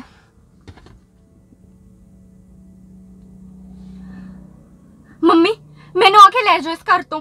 ਮੈਂ ਨਹੀਂ ਰਹਿ ਸਕਦੀ ਇਸ ਨਰਕ 'ਚ। ਤੁਹਾਡੇ ਕਹਿੰਦੇ ਹੁਣ ਤੱਕ ਐਡਜਸਟ ਕਰ ਹੀ ਰਹੀ ਸੀ, ਪਰ ਕਦ ਤੱਕ ਮੈਂ ਹੀ ਸੈਟਲਮੈਂਟ ਕਰਦੀ ਰਵਾਂ? ਸਿਮਰ ਤਾਂ ਅੱਜ ਵੀ ਮੇਰੇ ਨਾਲ ਲੜ ਕੇ ਚਲਾ ਗਿਆ। ਮੈਂ ਇਹਦੀਆਂ ਸਾਰੀਆਂ ਖਰੀਆਂ ਖੋਟੀਆਂ ਸੁਣ ਲੂੰ, ਪਰ ਇਹ ਤਾਂ ਤੁਹਾਨੂੰ ਗਾਲਾਂ ਕੱਢਦਾ। ਗੱਲ ਕੀ ਹੋਣੀ ਸੀ? ਮੈਨੂੰ ਇਹਦੀ ਅਲਮਾਰੀ 'ਚ ਅੱਜ ਇੱਕ ਪੁਰਾਣੀ ਡਾਇਰੀ ਮਿਲੀ। ਜਿਹਦੇ 'ਚ ਪਿਆਰ ਮੁਹੱਬਤ ਵਾਲੀਆਂ ਪੋਇਮਸ ਲਿਖੀਆਂ ਹੋਈਆਂ ਸੀ। ਮੈਂ ਜਦ ਇਹਨੂੰ ਪੁੱਛਿਆ ਕਿ ਕਿਹਦੇ ਲਈ ਲਿਖੀਆਂ, ਇਹ ਤਾਂ ਉਲਟਾ ਮੇਰਾ ਨਾ ਕਿਸੇ ਮੁੰਡੇ ਨਾਲ ਜੋੜਨ ਲੱਗ ਪਿਆ। ਉਹ ਹਰ ਗੱਲ ਤੇ ਟੋਕਾ ਟਾਕੀ ਕਰ ਸਕਦਾ, ਪਰ ਮੈਂ ਸ਼ੱਕ ਵੀ ਨਹੀਂ ਕਰ ਸਕਦੀ। ਤੁਸੀਂ ਇਹਦੀਆਂ ਸਾਰੀਆਂ ਹਰਕਤਾਂ ਨੂੰ ਨਜ਼ਰਅੰਦਾਜ਼ ਕਰ ਦਿੰਨੇ ਹੋ। ਕਦੇ ਮੇਰਾ ਪੱਖ ਵੀ ਸਮਝੋ। ਨਿਆਣੇ ਹੋਣ ਤੋਂ ਬਾਅਦ ਕੀ ਸੁਧਰੂ ਇਹ? ਇਹ ਤਾਂ ਅਜੇ ਆਪ ਜਵਾਕ ਹੈ। ਹਮੇਸ਼ਾ ਰੁਸਕੇ ਘਰੋਂ ਭੱਜ ਜਾਂਦਾ, ਫਿਰ ਪਿੰਡ ਦੇ ਬੰਦੇ ਇਹਨੂੰ ਲੱਭ ਕੇ ਲਿਆਉਂਦੇ ਨੇ। ਇਹ ਤਾਂ ਸਵੇਰੇ ਉੱਠ ਕੇ ਮੇਰੀ ਹੱਡੀਆਂ ਪੱਕੀਆਂ ਹੋਈਆਂ ਰੋਟੀਆਂ ਵੀ ਨਹੀਂ ਖਾਂਦਾ।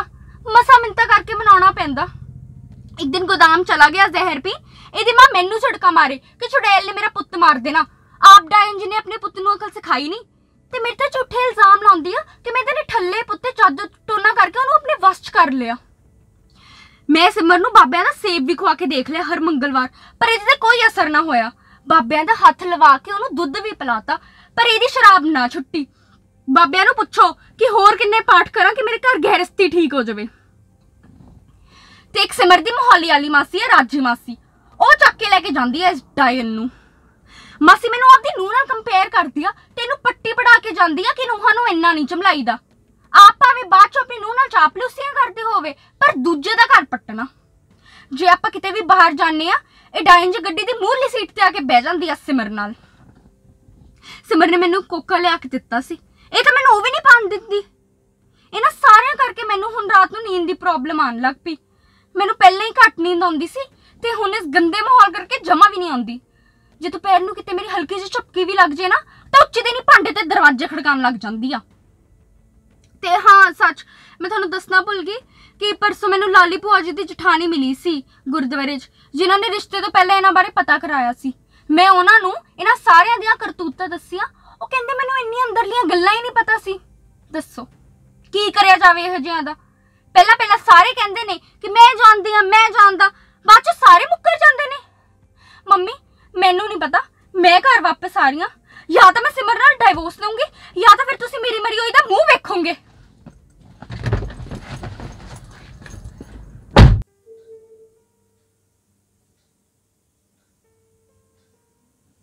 ਮੇਰੇ ਬੇਟੇ ਨੂੰ ਅੱਜ ਚਾਕਲੇਟ ਕਿਉਂ ਦਿੱਤੀ? ਉਹਨੇ ਅੱਜ ਸਕੂਲ ਤੋਂ ਆਉਂਦੇ ਹੀ ਮੇਰੇ ਹਸਬੰਡ ਨੂੰ ਦੱਸਤਾ ਤੇ ਹੁਣ ਉਹਨੂੰ ਮੇਰੀ ਲਾਇਲਟੀ ਤੇ ਸ਼ੱਕ ਹੋ ਗਿਆ। ਮੇਰਾ ਹਸਬੰਡ ਆਪ ਚਾਹੇ ਮੈਨੂੰ ਚੀਟ ਕਰ ਰਿਹਾ ਹੋਵੇ, ਕਿਉਂਕਿ ਉਹ ਹਮੇਸ਼ਾ ਆਪਣੀ ਗੱਡੀ ਘਰੇ ਛੱਡ ਕੇ ਤੇ ਟੈਕਸੀ ਲੈ ਕੇ ਜਾਂਦਾ ਆ ਕਿਸੇ ਹੋਰ ਲੇਡੀ ਨੂੰ ਸ਼ਾਪਿੰਗ ਕਰਾਉਣ। ਆਪਾਂ ਦੋਨਾਂ ਨੂੰ ਮੈਰਿਡ ਲਾਈਫ 'ਚ ਆਪਣੇ ਲਾਈਫ ਪਾਰਟਨਰ ਤੋਂ ਅਫੈਕਸ਼ਨ ਨਹੀਂ ਮਿਲੀ। ਉਹ ਸੈਟੀਸਫੈਕਸ਼ਨ ਦੀ ਕਮੀ ਆਪਾਂ ਇੱਕ ਦੂਜੇ ਦੀ ਪੂਰੀ ਕਰ ਰਹੇ ਹਾਂ। ਕੁਝ ਗਲਤ ਕਰ ਰਹੇ ਹਾਂ? ਮੈਨੂੰ ਆਰਕੈਸਟਰਾ ਬਾਰਸ ਤੇ ਨਾਈਟ ਕਲੱਬਸ 'ਚ ਡਾਂਸ ਕਰਦੀ ਨੂੰ ਕਈ ਸਾਲ ਹੋ ਗਏ। ਤੂੰ ਪਹਿਲਾ ਮੁੰਡਾ ਆ ਜਿਨੇ ਮੇਰੇ ਵੱਲ ਸਹੀ ਇਰਾਦਿਆਂ ਨਾਲ ਦੇਖਿਆ, ਕੋਈ ਗਲਤ ਨਿਗਾਹ ਨਾਲ ਨਹੀਂ ਝਾਕਿਆ। You treat me like a queen that's why I serve you like a king ਤੇਰੇ ਮੇਰੇ ਵਿੱਚ ਕੀ ਚੱਲ ਰਿਹਾ ਨਾ? ਇਹ ਸਮਾਜ ਕਦੇ ਵੀ ਨਹੀਂ ਸਮਝੂਗਾ, ਸਿਵਾਏ ਤੇਰੇ ਔਰ ਮੇਰੇ। ਵਿਆਹ 'ਚ ਸਿਰਫ ਨਾਲ ਰਹਿਣਾ ਜ਼ਰੂਰੀ ਨਹੀਂ ਹੁੰਦਾ, ਪਿਆਰ ਹੋਣਾ ਵੀ ਜ਼ਰੂਰੀ ਹੁੰਦਾ।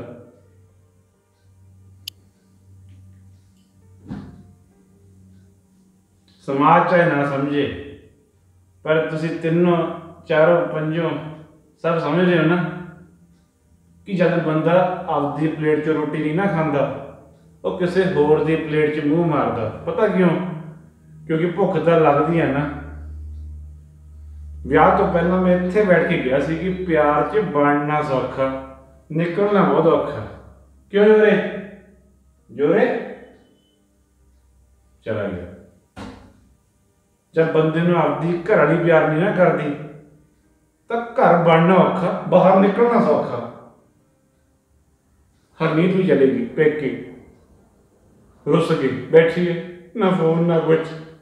ਮੈਂ ਹੱਥ ਵੀ ਜੋੜ ਲਏ ਮੈਂ ਪੈਰੀ ਪੈਣ ਨੂੰ ਵੀ ਤਿਆਰ ਆ ਮੈਂ ਕਿਹਾ ਕਿਹਾ ਵੀ ਉਹਨੂੰ ਕਿ ਮੈਂ ਮਰ ਜਾਊਂਗਾ ਤੇਰੇ ਬਿਨਾ। ਨਾ, ਬੈਠੀ ਹੈ। ਉਹਦੇ ਲਈ ਮੈਂ ਕੀ ਕੁਛ ਨਹੀਂ ਕੀਤਾ, ਹੂੰ? ਕੀ ਕੁਛ ਨਹੀਂ ਕੀਤਾ ਉਹਦੇ ਲਈ ਮੈਂ? ਉਹਨੇ ਮੈਨੂੰ ਕਿਹਾ ਕਿ ਸ਼ਰਾਬ ਘੱਟ ਕਰ ਦੇ ਆ ਦੇਖ, ਬੋਤਲ 'ਚ ਜਮੀ ਘੱਟ ਕਰਤੀ ਮੈਂ। ਹੋਰ ਕੀ ਕਰਾਂ ਉਹਦੇ ਲਈ ਮੈਂ? ਵਿਆਹ ਬਾਰੇ ਤੁਹਾਨੂੰ ਸਾਰਿਆਂ ਨੂੰ ਇੱਕ ਗੱਲ ਦੱਸਾਂ ਮੈਂ। ਵਿਆਹ ਦੋ ਤਾਰਾਂ ਜੁੜਨ ਵਾਂਗੂ ਜੁੜ ਗਈਆਂ ਤਾਂ ਰੋਸ਼ਨੀ ਭਿੜ ਗਈਆਂ ਤਾਂ ਪਟਾਕੇ। ਇਹਦੇ ਬਾਰੇ ਕੱਲ ਮੈਂ ਇੱਕ ਸ਼ੇਰ ਲਿਖਿਆ ਸੁਣਾਵਾਂ ਆਓ ਤੁਹਾਨੂੰ ਸੁਣਾਵਾਂ ਅਰੇਂਜ ਮੈਰਿਜ ਦਾ ਤਿਉਹਾਰ। ਲੋਕਾਂ ਨੂੰ ਇਹਦੇ ਬਾਰੇ ਬਹੁਤ ਆ ਅੰਧਕਾਰ। ਜੇ ਕੱਲ ਨੂੰ ਨਾ ਬਣੀ ਤਾਂ ਮਾਪਿਆਂ ਨੂੰ ਠਹਿਰਾਵਾਂਗੇ ਕਸੂਰਵਾਰ। ਵਰਨਾ ਵਿਚੋਲੇ ਤਾਂ ਹੈ ਹੀ ਗੁਨੇਗਾਰ। ਹੈ? ਆ ਜੋਏ ਵਰਗੇ ਦੋਸਤ ਬਣ ਗਏ ਸਲਾਹਕਾਰ। ਕਿ ਕਰ ਲਾ ਵਿਆਹ ਜ਼ਿੰਦਗੀ ਹੋ ਜੂ ਮਜ਼ੇਦਾਰ। ਵਿਕੀ ਹੋਈ ਜ਼ਮੀਰਾਂ ਦੇ ਵੀ ਨੇ ਇੱਥੇ ਖਰੀਦਦਾਰ। ਤੇ ਲਾਲਚੀ ਲੋਕ ਵੀ ਬਣ ਗਏ ਹਿੱਸੇਦਾਰ। ਲੋਕਾਂ ਦੀ ਨੀਅਤ 'ਚ ਭਰਿਆ ਭ੍ਰਸ਼ਟਾਚਾਰ। ਮੁੰਡੇ ਨੂੰ ਤਾਂ ਹੀ ਪੈਂਦਾ ਸੋਨੇ ਦਾ ਕੜਾ ਤੇ ਮੁੰਦੀ ਤੇ ਕੁੜੀ ਨੂੰ ਤਾਂ ਹੀ ਪੈਂਦਾ ਰਾਣੀ ਹਾਰ। ਮੇਰੇ ਵੱਲੋਂ ਨਮਸਕਾਰ। ਜਦ ਦੋਨੋਂ ਜਾਣੇ ਇੱਕ ਦੂਜੇ ਤੋਂ ਜਾਣ ਅੱਕ ਤੇ ਸ਼ੁਰੂ ਹੋ ਜਵੇ ਬੱਕ ਬੱਕ ਤੇ ਨਾਲ ਦੇ ਤੁਹਾਨੂੰ ਇੱਕ ਦੂਜੇ ਦੇ ਖਿਲਾਫ ਦੇਣ ਚੱਕ ਤੇ ਸੁਲਾਹ ਕਰ ਕਰਕੇ ਦੋਨੋਂ ਜਾਣ ਥੱਕ ਤੇ ਆਪਸ ਵਿੱਚ ਜਿਤਾਉਣ ਲੱਗ ਜਾਣ ਹੱਕ, ਨਾ ਰਹਿ ਜਵੇ ਕੋਈ ਸ਼ਰਮ, ਨਾ ਕੋਈ ਜੱਕ, ਤੇ ਸਮਝਣ ਨਾ ਕਿਸੇ ਨੂੰ ਕੱਖ, ਤੇ ਲਾਣ ਤਾਂ ਪਾਉਣ ਲੱਖ, ਤੇ ਕਟਾਉਣ ਆਪਣੇ ਪਰਿਵਾਰ ਦੀ ਨੱਕ, ਆਪਣੇ ਖਾਨਦਾਨ ਦੀ ਇੱਜ਼ਤ ਨਾ ਰਹੇ ਹੁਣ ਰੱਖ, ਤੇ ਕਰਨ ਲੱਗ ਜਾਣ ਇੱਕ ਦੂਜੇ ਤੇ ਸ਼ੱਕ, ਤੇ ਕਿਸੇ ਹੋਰ ਵੱਲ ਰਹੇ ਹੁਣ ਤੱਕ, ਤਾਂ ਮੈਂ ਅੰਦਰੋਂ ਚਾਹਨਾ ਕਿ ਇਹ ਹੋ ਜਾਣ ਵੱਖ, ਤਾਂ ਕਿ ਮੈਂ ਇਹ ਜਿਹਾਂ ਦਾ ਦੁਬਾਰਾ ਕਰਾ ਦੇਵਾਂ ਪੱਖ ਠੱਕ ਤਾਂ ਹੀ ਮੈਂ ਆਪਣੀ ਕੰਪਨੀ ਦਾ ਨਾਮ ਰੱਖਿਆ ਪੱਖ ਠੱਕ ਮੈਰਿਜ ਬਿਊਰੋ। ਆ ਵੀ ਗਿਆ ਟੱਠੇ ਖੂਚ ਕੀ ਨਾਮ ਆ ਮੁੰਡੇ ਦਾ? ਜੋਰਾ। ਇਹਦਾ ਰਿਸ਼ਤਾ ਕਿਹਨੇ ਕਰਾਤਾ? ਉਹ ਇਹ ਤਾਂ ਰਮੇਸ਼ ਵਿਚੋਲਾ, ਸਮਰਾਲੇ ਕੋਲ ਪਿੰਡ ਆ ਇਹਦਾ। ਆਸ-ਪਾਸ ਦੇ ਏਰੀਏ 'ਚ ਮੇਸ਼ੀ ਠੱਗ ਨਾਮ ਤੋਂ ਮਸ਼ਹੂਰ ਆ। ਇਹ ਤਾਂ ਸਿਰੇ ਦਾ ਲੁਟੇਰਾ ਜੀ, ਪਰ ਹੈ ਆਪਣੇ ਹੀ ਚੇਲਾ। ਇਹਦਾ ਪ੍ਰੋਸੀਜਰ ਤਾਂ ਸੁਣ ਲਓ ਕੀ ਆ। 51000 ਰੁਪਏ ਦਾ ਪੈਕੇਜ ਆ ਤੇ ਦਾਵਾ ਕਰਦਾ ਕਿ ਜਮ੍ਹਾਂ ਕਰਾਉਣ ਤੋਂ 3 ਮਹੀਨੇ ਦੇ ਅੰਦਰ 'ਚ ਜੇ ਰਿਸ਼ਤਾ ਨਾ ਹੋਇਆ ਤਾਂ ਪੈਸੇ ਵਾਪਸ। ਜਾਲੀ ਮੈਰਿਜ ਕੰਪਨੀ ਰੋਪੜ 'ਚ ਬਣਾ ਕੇ, ਬਿਨਾਂ ਮੰਗੇ ਝੂਠੇ ਸਬੂਤ ਤੇ ਵੱਡੇ ਸੁਪਨੇ ਦਿਖਾ ਕੇ, ਅਗਲੇ ਨੂੰ ਗੱਲਾਂ ਦੀ ਜਾਲ 'ਚ ਫਸਾ ਕੇ ਕਹਿੰਦਾ ਹੁੰਦਾ ਕਿ ਤੁਹਾਨੂੰ ਐਜਾ ਰਿਸ਼ਤਾ ਕਰਾ ਦੂੰ, ਹੋਰ ਦੱਸੋ। ਤੁਹਾਨੂੰ ਔਜਾ ਰਿਸ਼ਤਾ ਕਰਾ ਦੂੰ, ਹੋਰ ਦੱਸੋ। ਹੋਰ ਦੱਸੋ ਹੋਰ ਦੱਸੋ, ਕਹਿ ਕੇ ਫਿਰ ਐਜਾ ਸੱਪ ਵਾਂਗੂ ਦੱਸਦਾ ਕਿ ਅਗਲਾ ਪੈਸੇ ਮਰਵਾਉਣ ਤੋਂ ਚੰਗਾ ਇਹਦੇ ਹੱਥੋਂ ਵਿਆਹ ਦੀ ਜ਼ਹਿਰ ਖਾਈ ਲੈਂਦਾ ਜੀ। ਹਾਂਜੀ ਪੰਡਿਤ ਜੀ, ਮੈਂ ਤੇ ਮੇਰਾ ਭਰਾ ਕੁੜੀ ਨੂੰ ਦੇਖਣ ਆਵਾਂਗੇ। ਮੇਰੀ ਹਾਂ ਜਾਂ ਨਾ ਦਾ ਫੈਸਲਾ ਹੀ ਫਾਈਨਲ ਡਿਸੀਜਨ ਹੋਊਗਾ। ਪਰ ਤਾਂ ਵੀ ਮੈਨੂੰ ਲੱਗਿਆ ਕਿ ਇੱਕ ਵਾਰੀ ਭਰਾ ਨੂੰ ਕੁੜੀ ਦਿਖਾ ਦਾਂ। ਇਹਦੇ 'ਚ ਕਿਸੇ ਨੂੰ ਕੀ ਹਰਜਾ ਤੁਸੀਂ ਕੁੜੀ ਨੂੰ ਦੱਸਿਓ ਨਾ, ਅਸੀਂ ਕਿੰਨੇ ਵਜੇ ਬੁਟੀਕ ਪਹੁੰਚਾਂਗੇ। ਅਸੀਂ ਕੁੜੀ ਬਾਹਰੋਂ ਬਾਹਰ ਦੇਖ ਲੈਣੀ ਆ ਸ਼ਾਪਿੰਗ ਕਰਦੇ ਕਰਦੇ। ਮੇਰੇ ਭਰਾ ਦਾ ਵੀ ਟਾਈਮ ਬਚ ਜਾਊਗਾ।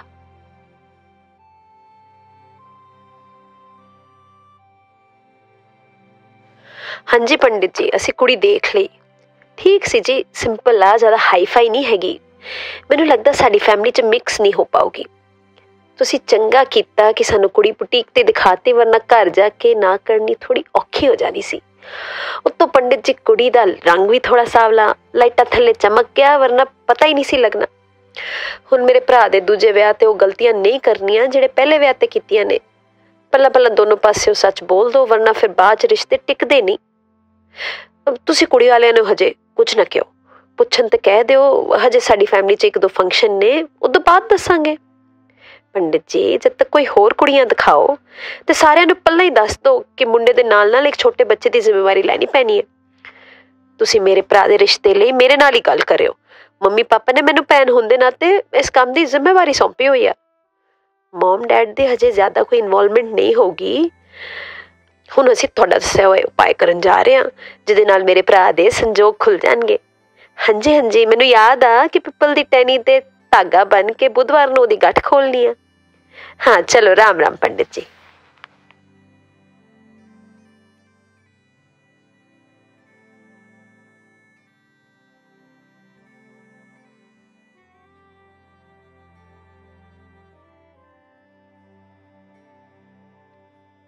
ਹਾਂਜੀ, ਮੰਮੀ।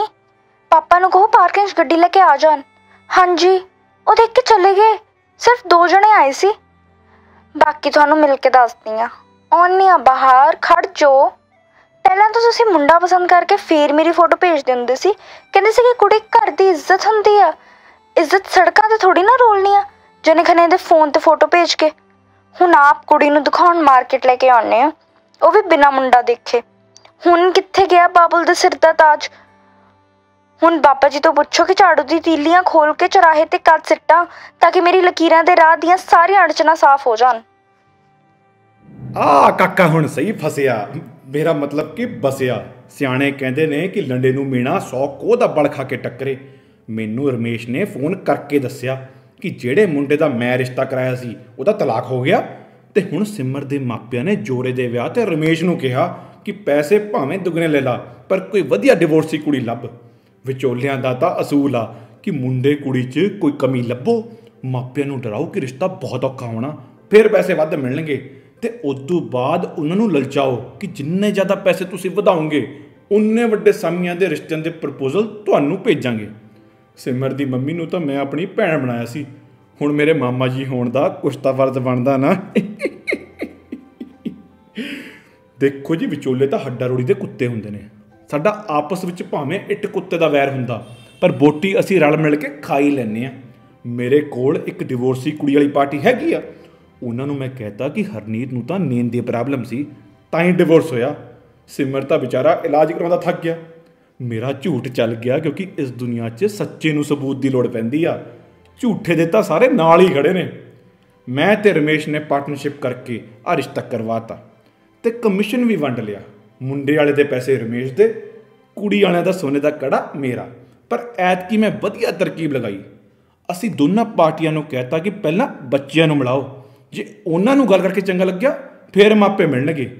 ਤੇ ਸਕੀਮ ਦੋਨਾਂ ਬੱਚਿਆਂ ਤੇ ਇਹ ਪਾਈ ਕਿ ਦੇਖੋ ਜੀ, ਗੱਲ ਇਉਂ ਆ ਕਿ ਜੇ ਇੱਕ ਵਾਰ ਦੋਨਾਂ ਦੀ ਹਾਂ ਹੋ ਗਈ, ਤਾਂ ਫਿਰ ਮੈਂ ਨਾ ਨਹੀਂ ਹੋਣ ਦਿੰਦਾ। ਜੇ ਨਾ ਹੋ ਗਈ, ਤਾਂ ਫਿਰ ਮੈਂ ਹਾਂ ਨਹੀਂ ਹੋਣ ਦਿੰਦਾ। ਕਿਉਂਕਿ ਮੁੰਡੇ ਵਾਲੇ ਆਪਣੀ ਲੱਤ ਉੱਚੀ ਰੱਖਣ ਲਈ ਕੁੜੀ ਨੂੰ ਜਾਣਬੁੱਝ ਕੇ ਦੇਖ ਕੇ ਨਾ ਕਰਦੇ ਨੇ। ਤੇ ਕੁੜੀ ਵਾਲੇ ਘੱਟ ਨਹੀਂ, ਮੁੰਡੇ ਨੂੰ ਦੇਖ ਕੇ ਲਟਕਾਉਂਦੇ ਨੇ ਕਿ ਤਾਂ ਕਿ ਜਦ ਤੱਕ ਹੋਰ ਮੁੰਡੇ ਦੇਖ ਲਈਏ। ਅਸੀਂ ਇਹੋ ਜਿਹੇ ਵਿਚੋਲੇ ਆ ਕਿ ਸਾਡੇ ਬਾਅਦ ਵਿੱਚ ਛਿੱਤਰ ਪੈ ਹੀ ਨਹੀਂ ਸਕਦੇ, ਕਿਉਂਕਿ ਅਸੀਂ ਘੱਟੋ ਘੱਟ ਵਿਆਹ ਕਰਾਉਣ ਦੀ ਕੋਸ਼ਿਸ਼ ਤਾਂ ਕਰ ਰਹੇ ਹਾਂ। ਰਿਸ਼ਤੇਦਾਰ ਤਾਂ ਜੇ ਚੰਗਾ ਰਿਸ਼ਤਾ ਹੋਵੇ ਜਾਣ ਪਛਾਣ 'ਚ, ਤਾਂ ਵਿਆਹ ਹੋਣ ਹੀ ਨਹੀਂ ਦਿੰਦੇ, ਭਾਨੀ ਮਾਰ ਦਿੰਦੇ ਨੇ। ਜੇ ਰਿਸ਼ਤਾ ਬੁਰਾ ਹੋਵੇ, ਤਾਂ ਡਰ ਦੇ ਵਿੱਚ ਨਹੀਂ ਪੈਂਦੇ ਕਿ ਕੱਲ ਨੂੰ ਮਾੜੇ ਨਾ ਪੈ ਜਾਈਏ। ਜੇ ਰਿਸ਼ਤੇਦਾਰਾਂ ਨੂੰ ਪਛਾਉਣ ਨੂੰ ਕਹੋ ਨਾ ਕਿਸੇ ਰਿਸ਼ਤੇ ਬਾਰੇ, ਤਾਂ ਇੰਨੇ ਲਾਪਰਵਾਹ ਨੇ ਕਿ ਬਿਨਾਂ ਪੁੱਛੇ ਬਿਆਨ ਦੇ ਦਿੰਦੇ ਨੇ ਕਿ ਅੱਖਾਂ ਮੀਚ ਕੇ ਕਰ ਦੋ, ਨਾਮੀ ਬੰਦੇ ਨੇ। ਤੁਹਾਨੂੰ ਬਸ ਰਿਸ਼ਤੇ ਦੀ ਦੱਸ ਪਾ ਕੇ ਲਾਰੇ ਲਾਉਂਦੇ ਨੇ ਤੇ ਗੱਲਾਂ ਦਾ ਸਵਾਦ ਲੈ ਕੇ ਤੁਹਾਡੇ ਤੋਂ ਕੰਮ ਲੈਂਦੇ ਨੇ। ਤੁਹਾਨੂੰ ਥੱਲੇ ਲਾਉਂਦੇ ਨੇ ਤੇ ਤੁਹਾਡੇ ਬੱਚਿਆਂ ਦਾ ਭਲਾ ਚਾਹਣ ਦੀ ਆੜ 'ਚ ਉਮਰ ਵਧਣ ਦੇ ਤਾਨੇ ਮਾਰਦੇ ਨੇ, ਪਰ ਰਿਸ਼ਤਾ ਕਰਾਉਣ ਦੇ ਵਿੱਚ ਨਹੀਂ ਪੈਣਾ ਚਾਹੁੰਦੇ। ਜੇ ਗਲਤੀ ਨਾਲ ਵਿੱਚ ਪੈ ਵੀ ਗਏ, ਤਾਂ ਮਰਦੇ ਦਮ ਤੱਕ ਆਸਾਨ ਜਿਤਾਉਣਗੇ। ਜਿਹੜੇ ਤੁਹਾਡੇ ਸਗੇ ਹੋਣ ਦੇ ਬਾਵਜੂਦ ਚਾਹੁੰਦੇ ਨਹੀਂ ਕਿ ਤੁਸੀਂ ਸੁਖੀ ਬਸੋ। ਐ ਜੇ ਰਿਸ਼ਤੇਦਾਰਾਂ ਦੇ ਤਾਂ ਬਰਾਤ 'ਚ ਸਵਾਗਤ ਵਾਲੇ ਹਾਰ ਪੈਂਦੇ ਨੇ ਤੇ ਤੁਹਾਡੇ ਲਈ ਕੰਮ ਕਰਨ ਵਾਲੇ ਅਣਜਾਣ ਵਿਚੋਲੇ ਦੇ ਬਰਾਤ ਸਮਾਪਤ ਹੋਣ ਤੋਂ ਬਾਅਦ ਲੋਕੀ ਗਲ ਪੈਂਦੇ ਨੇ। ਚਲੋ ਜੀ, ਮੈਨੂੰ ਦਿਓ ਇਜਾਜ਼ਤ, ਲੇਕਿਨ ਜਾਂਦੇ ਜਾਂਦੇ ਮੈਂ ਚੰਗੇ ਲੋਕਾਂ ਨੂੰ ਇੱਕ ਕੀਮਤੀ ਸਲਾਹ ਦੇਣਾ ਚਾਹੁੰਦਾ ਕਿ ਆਪਣੇ ਜੀਵਨ ਦਾ ਹਮਸਫਰ ਚੁਣਨ ਲਈ ਆਪਣੇ ਰਿਸ਼ਤੇਦਾਰ ਤੇ ਵਿਚੋਲੇ ਦੇ ਆਸਰੇ ਨਾ ਬੈਠੋ। ਆਪਦੇ ਤੇ ਰੱਬ ਦੇ ਭਰੋਸੇ ਬੈਠੋ ਕਿਉਂਕਿ ਕੂੜੇ ਦੇ ਬਾਜ਼ਾਰ 'ਚ ਸੋਨੇ ਦਾ ਮੁੱਲ ਪੈ ਹੀ ਨਹੀਂ ਸਕਦਾ। ਜੇ ਸਸਤੇ ਹੋ ਕੇ ਜਾਓਗੇ ਨਾ, ਤਾਂ ਕੂੜੇ ਦਾ ਭਾਈ ਮਿਲੂਗਾ। This means a lot of compromises and sacrifices according to your value not a worth ਹੁਣ ਤੁਹਾਡੇ ਕੋਲ ਦੋ ਰਸਤੇ ਨੇ। ਜਾਂ ਤਾਂ ਪਿਆਰ ਨਾਲ ਆਪਦੇ ਆਪ ਪਾਰਟਨਰ ਲੱਭ ਕੇ ਉਹਨੂੰ ਮੁੰਦੀ ਪਾ ਦਿਓ, ਜਾਂ ਫਿਰ ਮੈਨੂੰ ਪਿਆਰ ਨਾਲ ਮੁੰਦੀ ਪਾ ਦਿਓ, ਮੈਂ ਤੁਹਾਨੂੰ ਆਪਦੇ ਆਪ ਪਾਰਟਨਰ ਲੱਭ ਕੇ ਦੇ ਦੂੰਗਾ। ਜਿਹੜਾ ਆਪਣੀ ਜ਼ਮੀਰ ਨੂੰ ਇਸ ਸੱਭਿਆਚਾਰੀ ਮੰਡੀ 'ਚ ਵੇਚਣਾ ਚਾਹੁੰਦਾ। ਤੁਹਾਡੇ ਸੇਵਾ ਲਈ ਮੈਂ ਬ੍ਰੋਕਰ, ਹਮੇਸ਼ਾ ਹਾਜ਼ਰ ਨਜ਼ਰ ਹਾਂ ਕਿਸੇ ਟਾਈਮ ਮੈਨੂੰ ਫੋਨ ਲਗਾਓ ਤੇ ਮੈਂ ਕਾਲ ਚੱਕਦੇ ਹੀ ਕਹੂੰਗਾ ਹਾਂਜੀ ਚੱਚੀ ਕਾਲ ਜੀ, ਮੈਂ ਇੰਦਰਬਲ ਬੋਲ ਰਿਹਾ ਪੱਕ ਠੱਕ ਮੈਰਿਜ ਬਿਊਰੋ ਲੁਧਿਆਣੇ ਤੋਂ।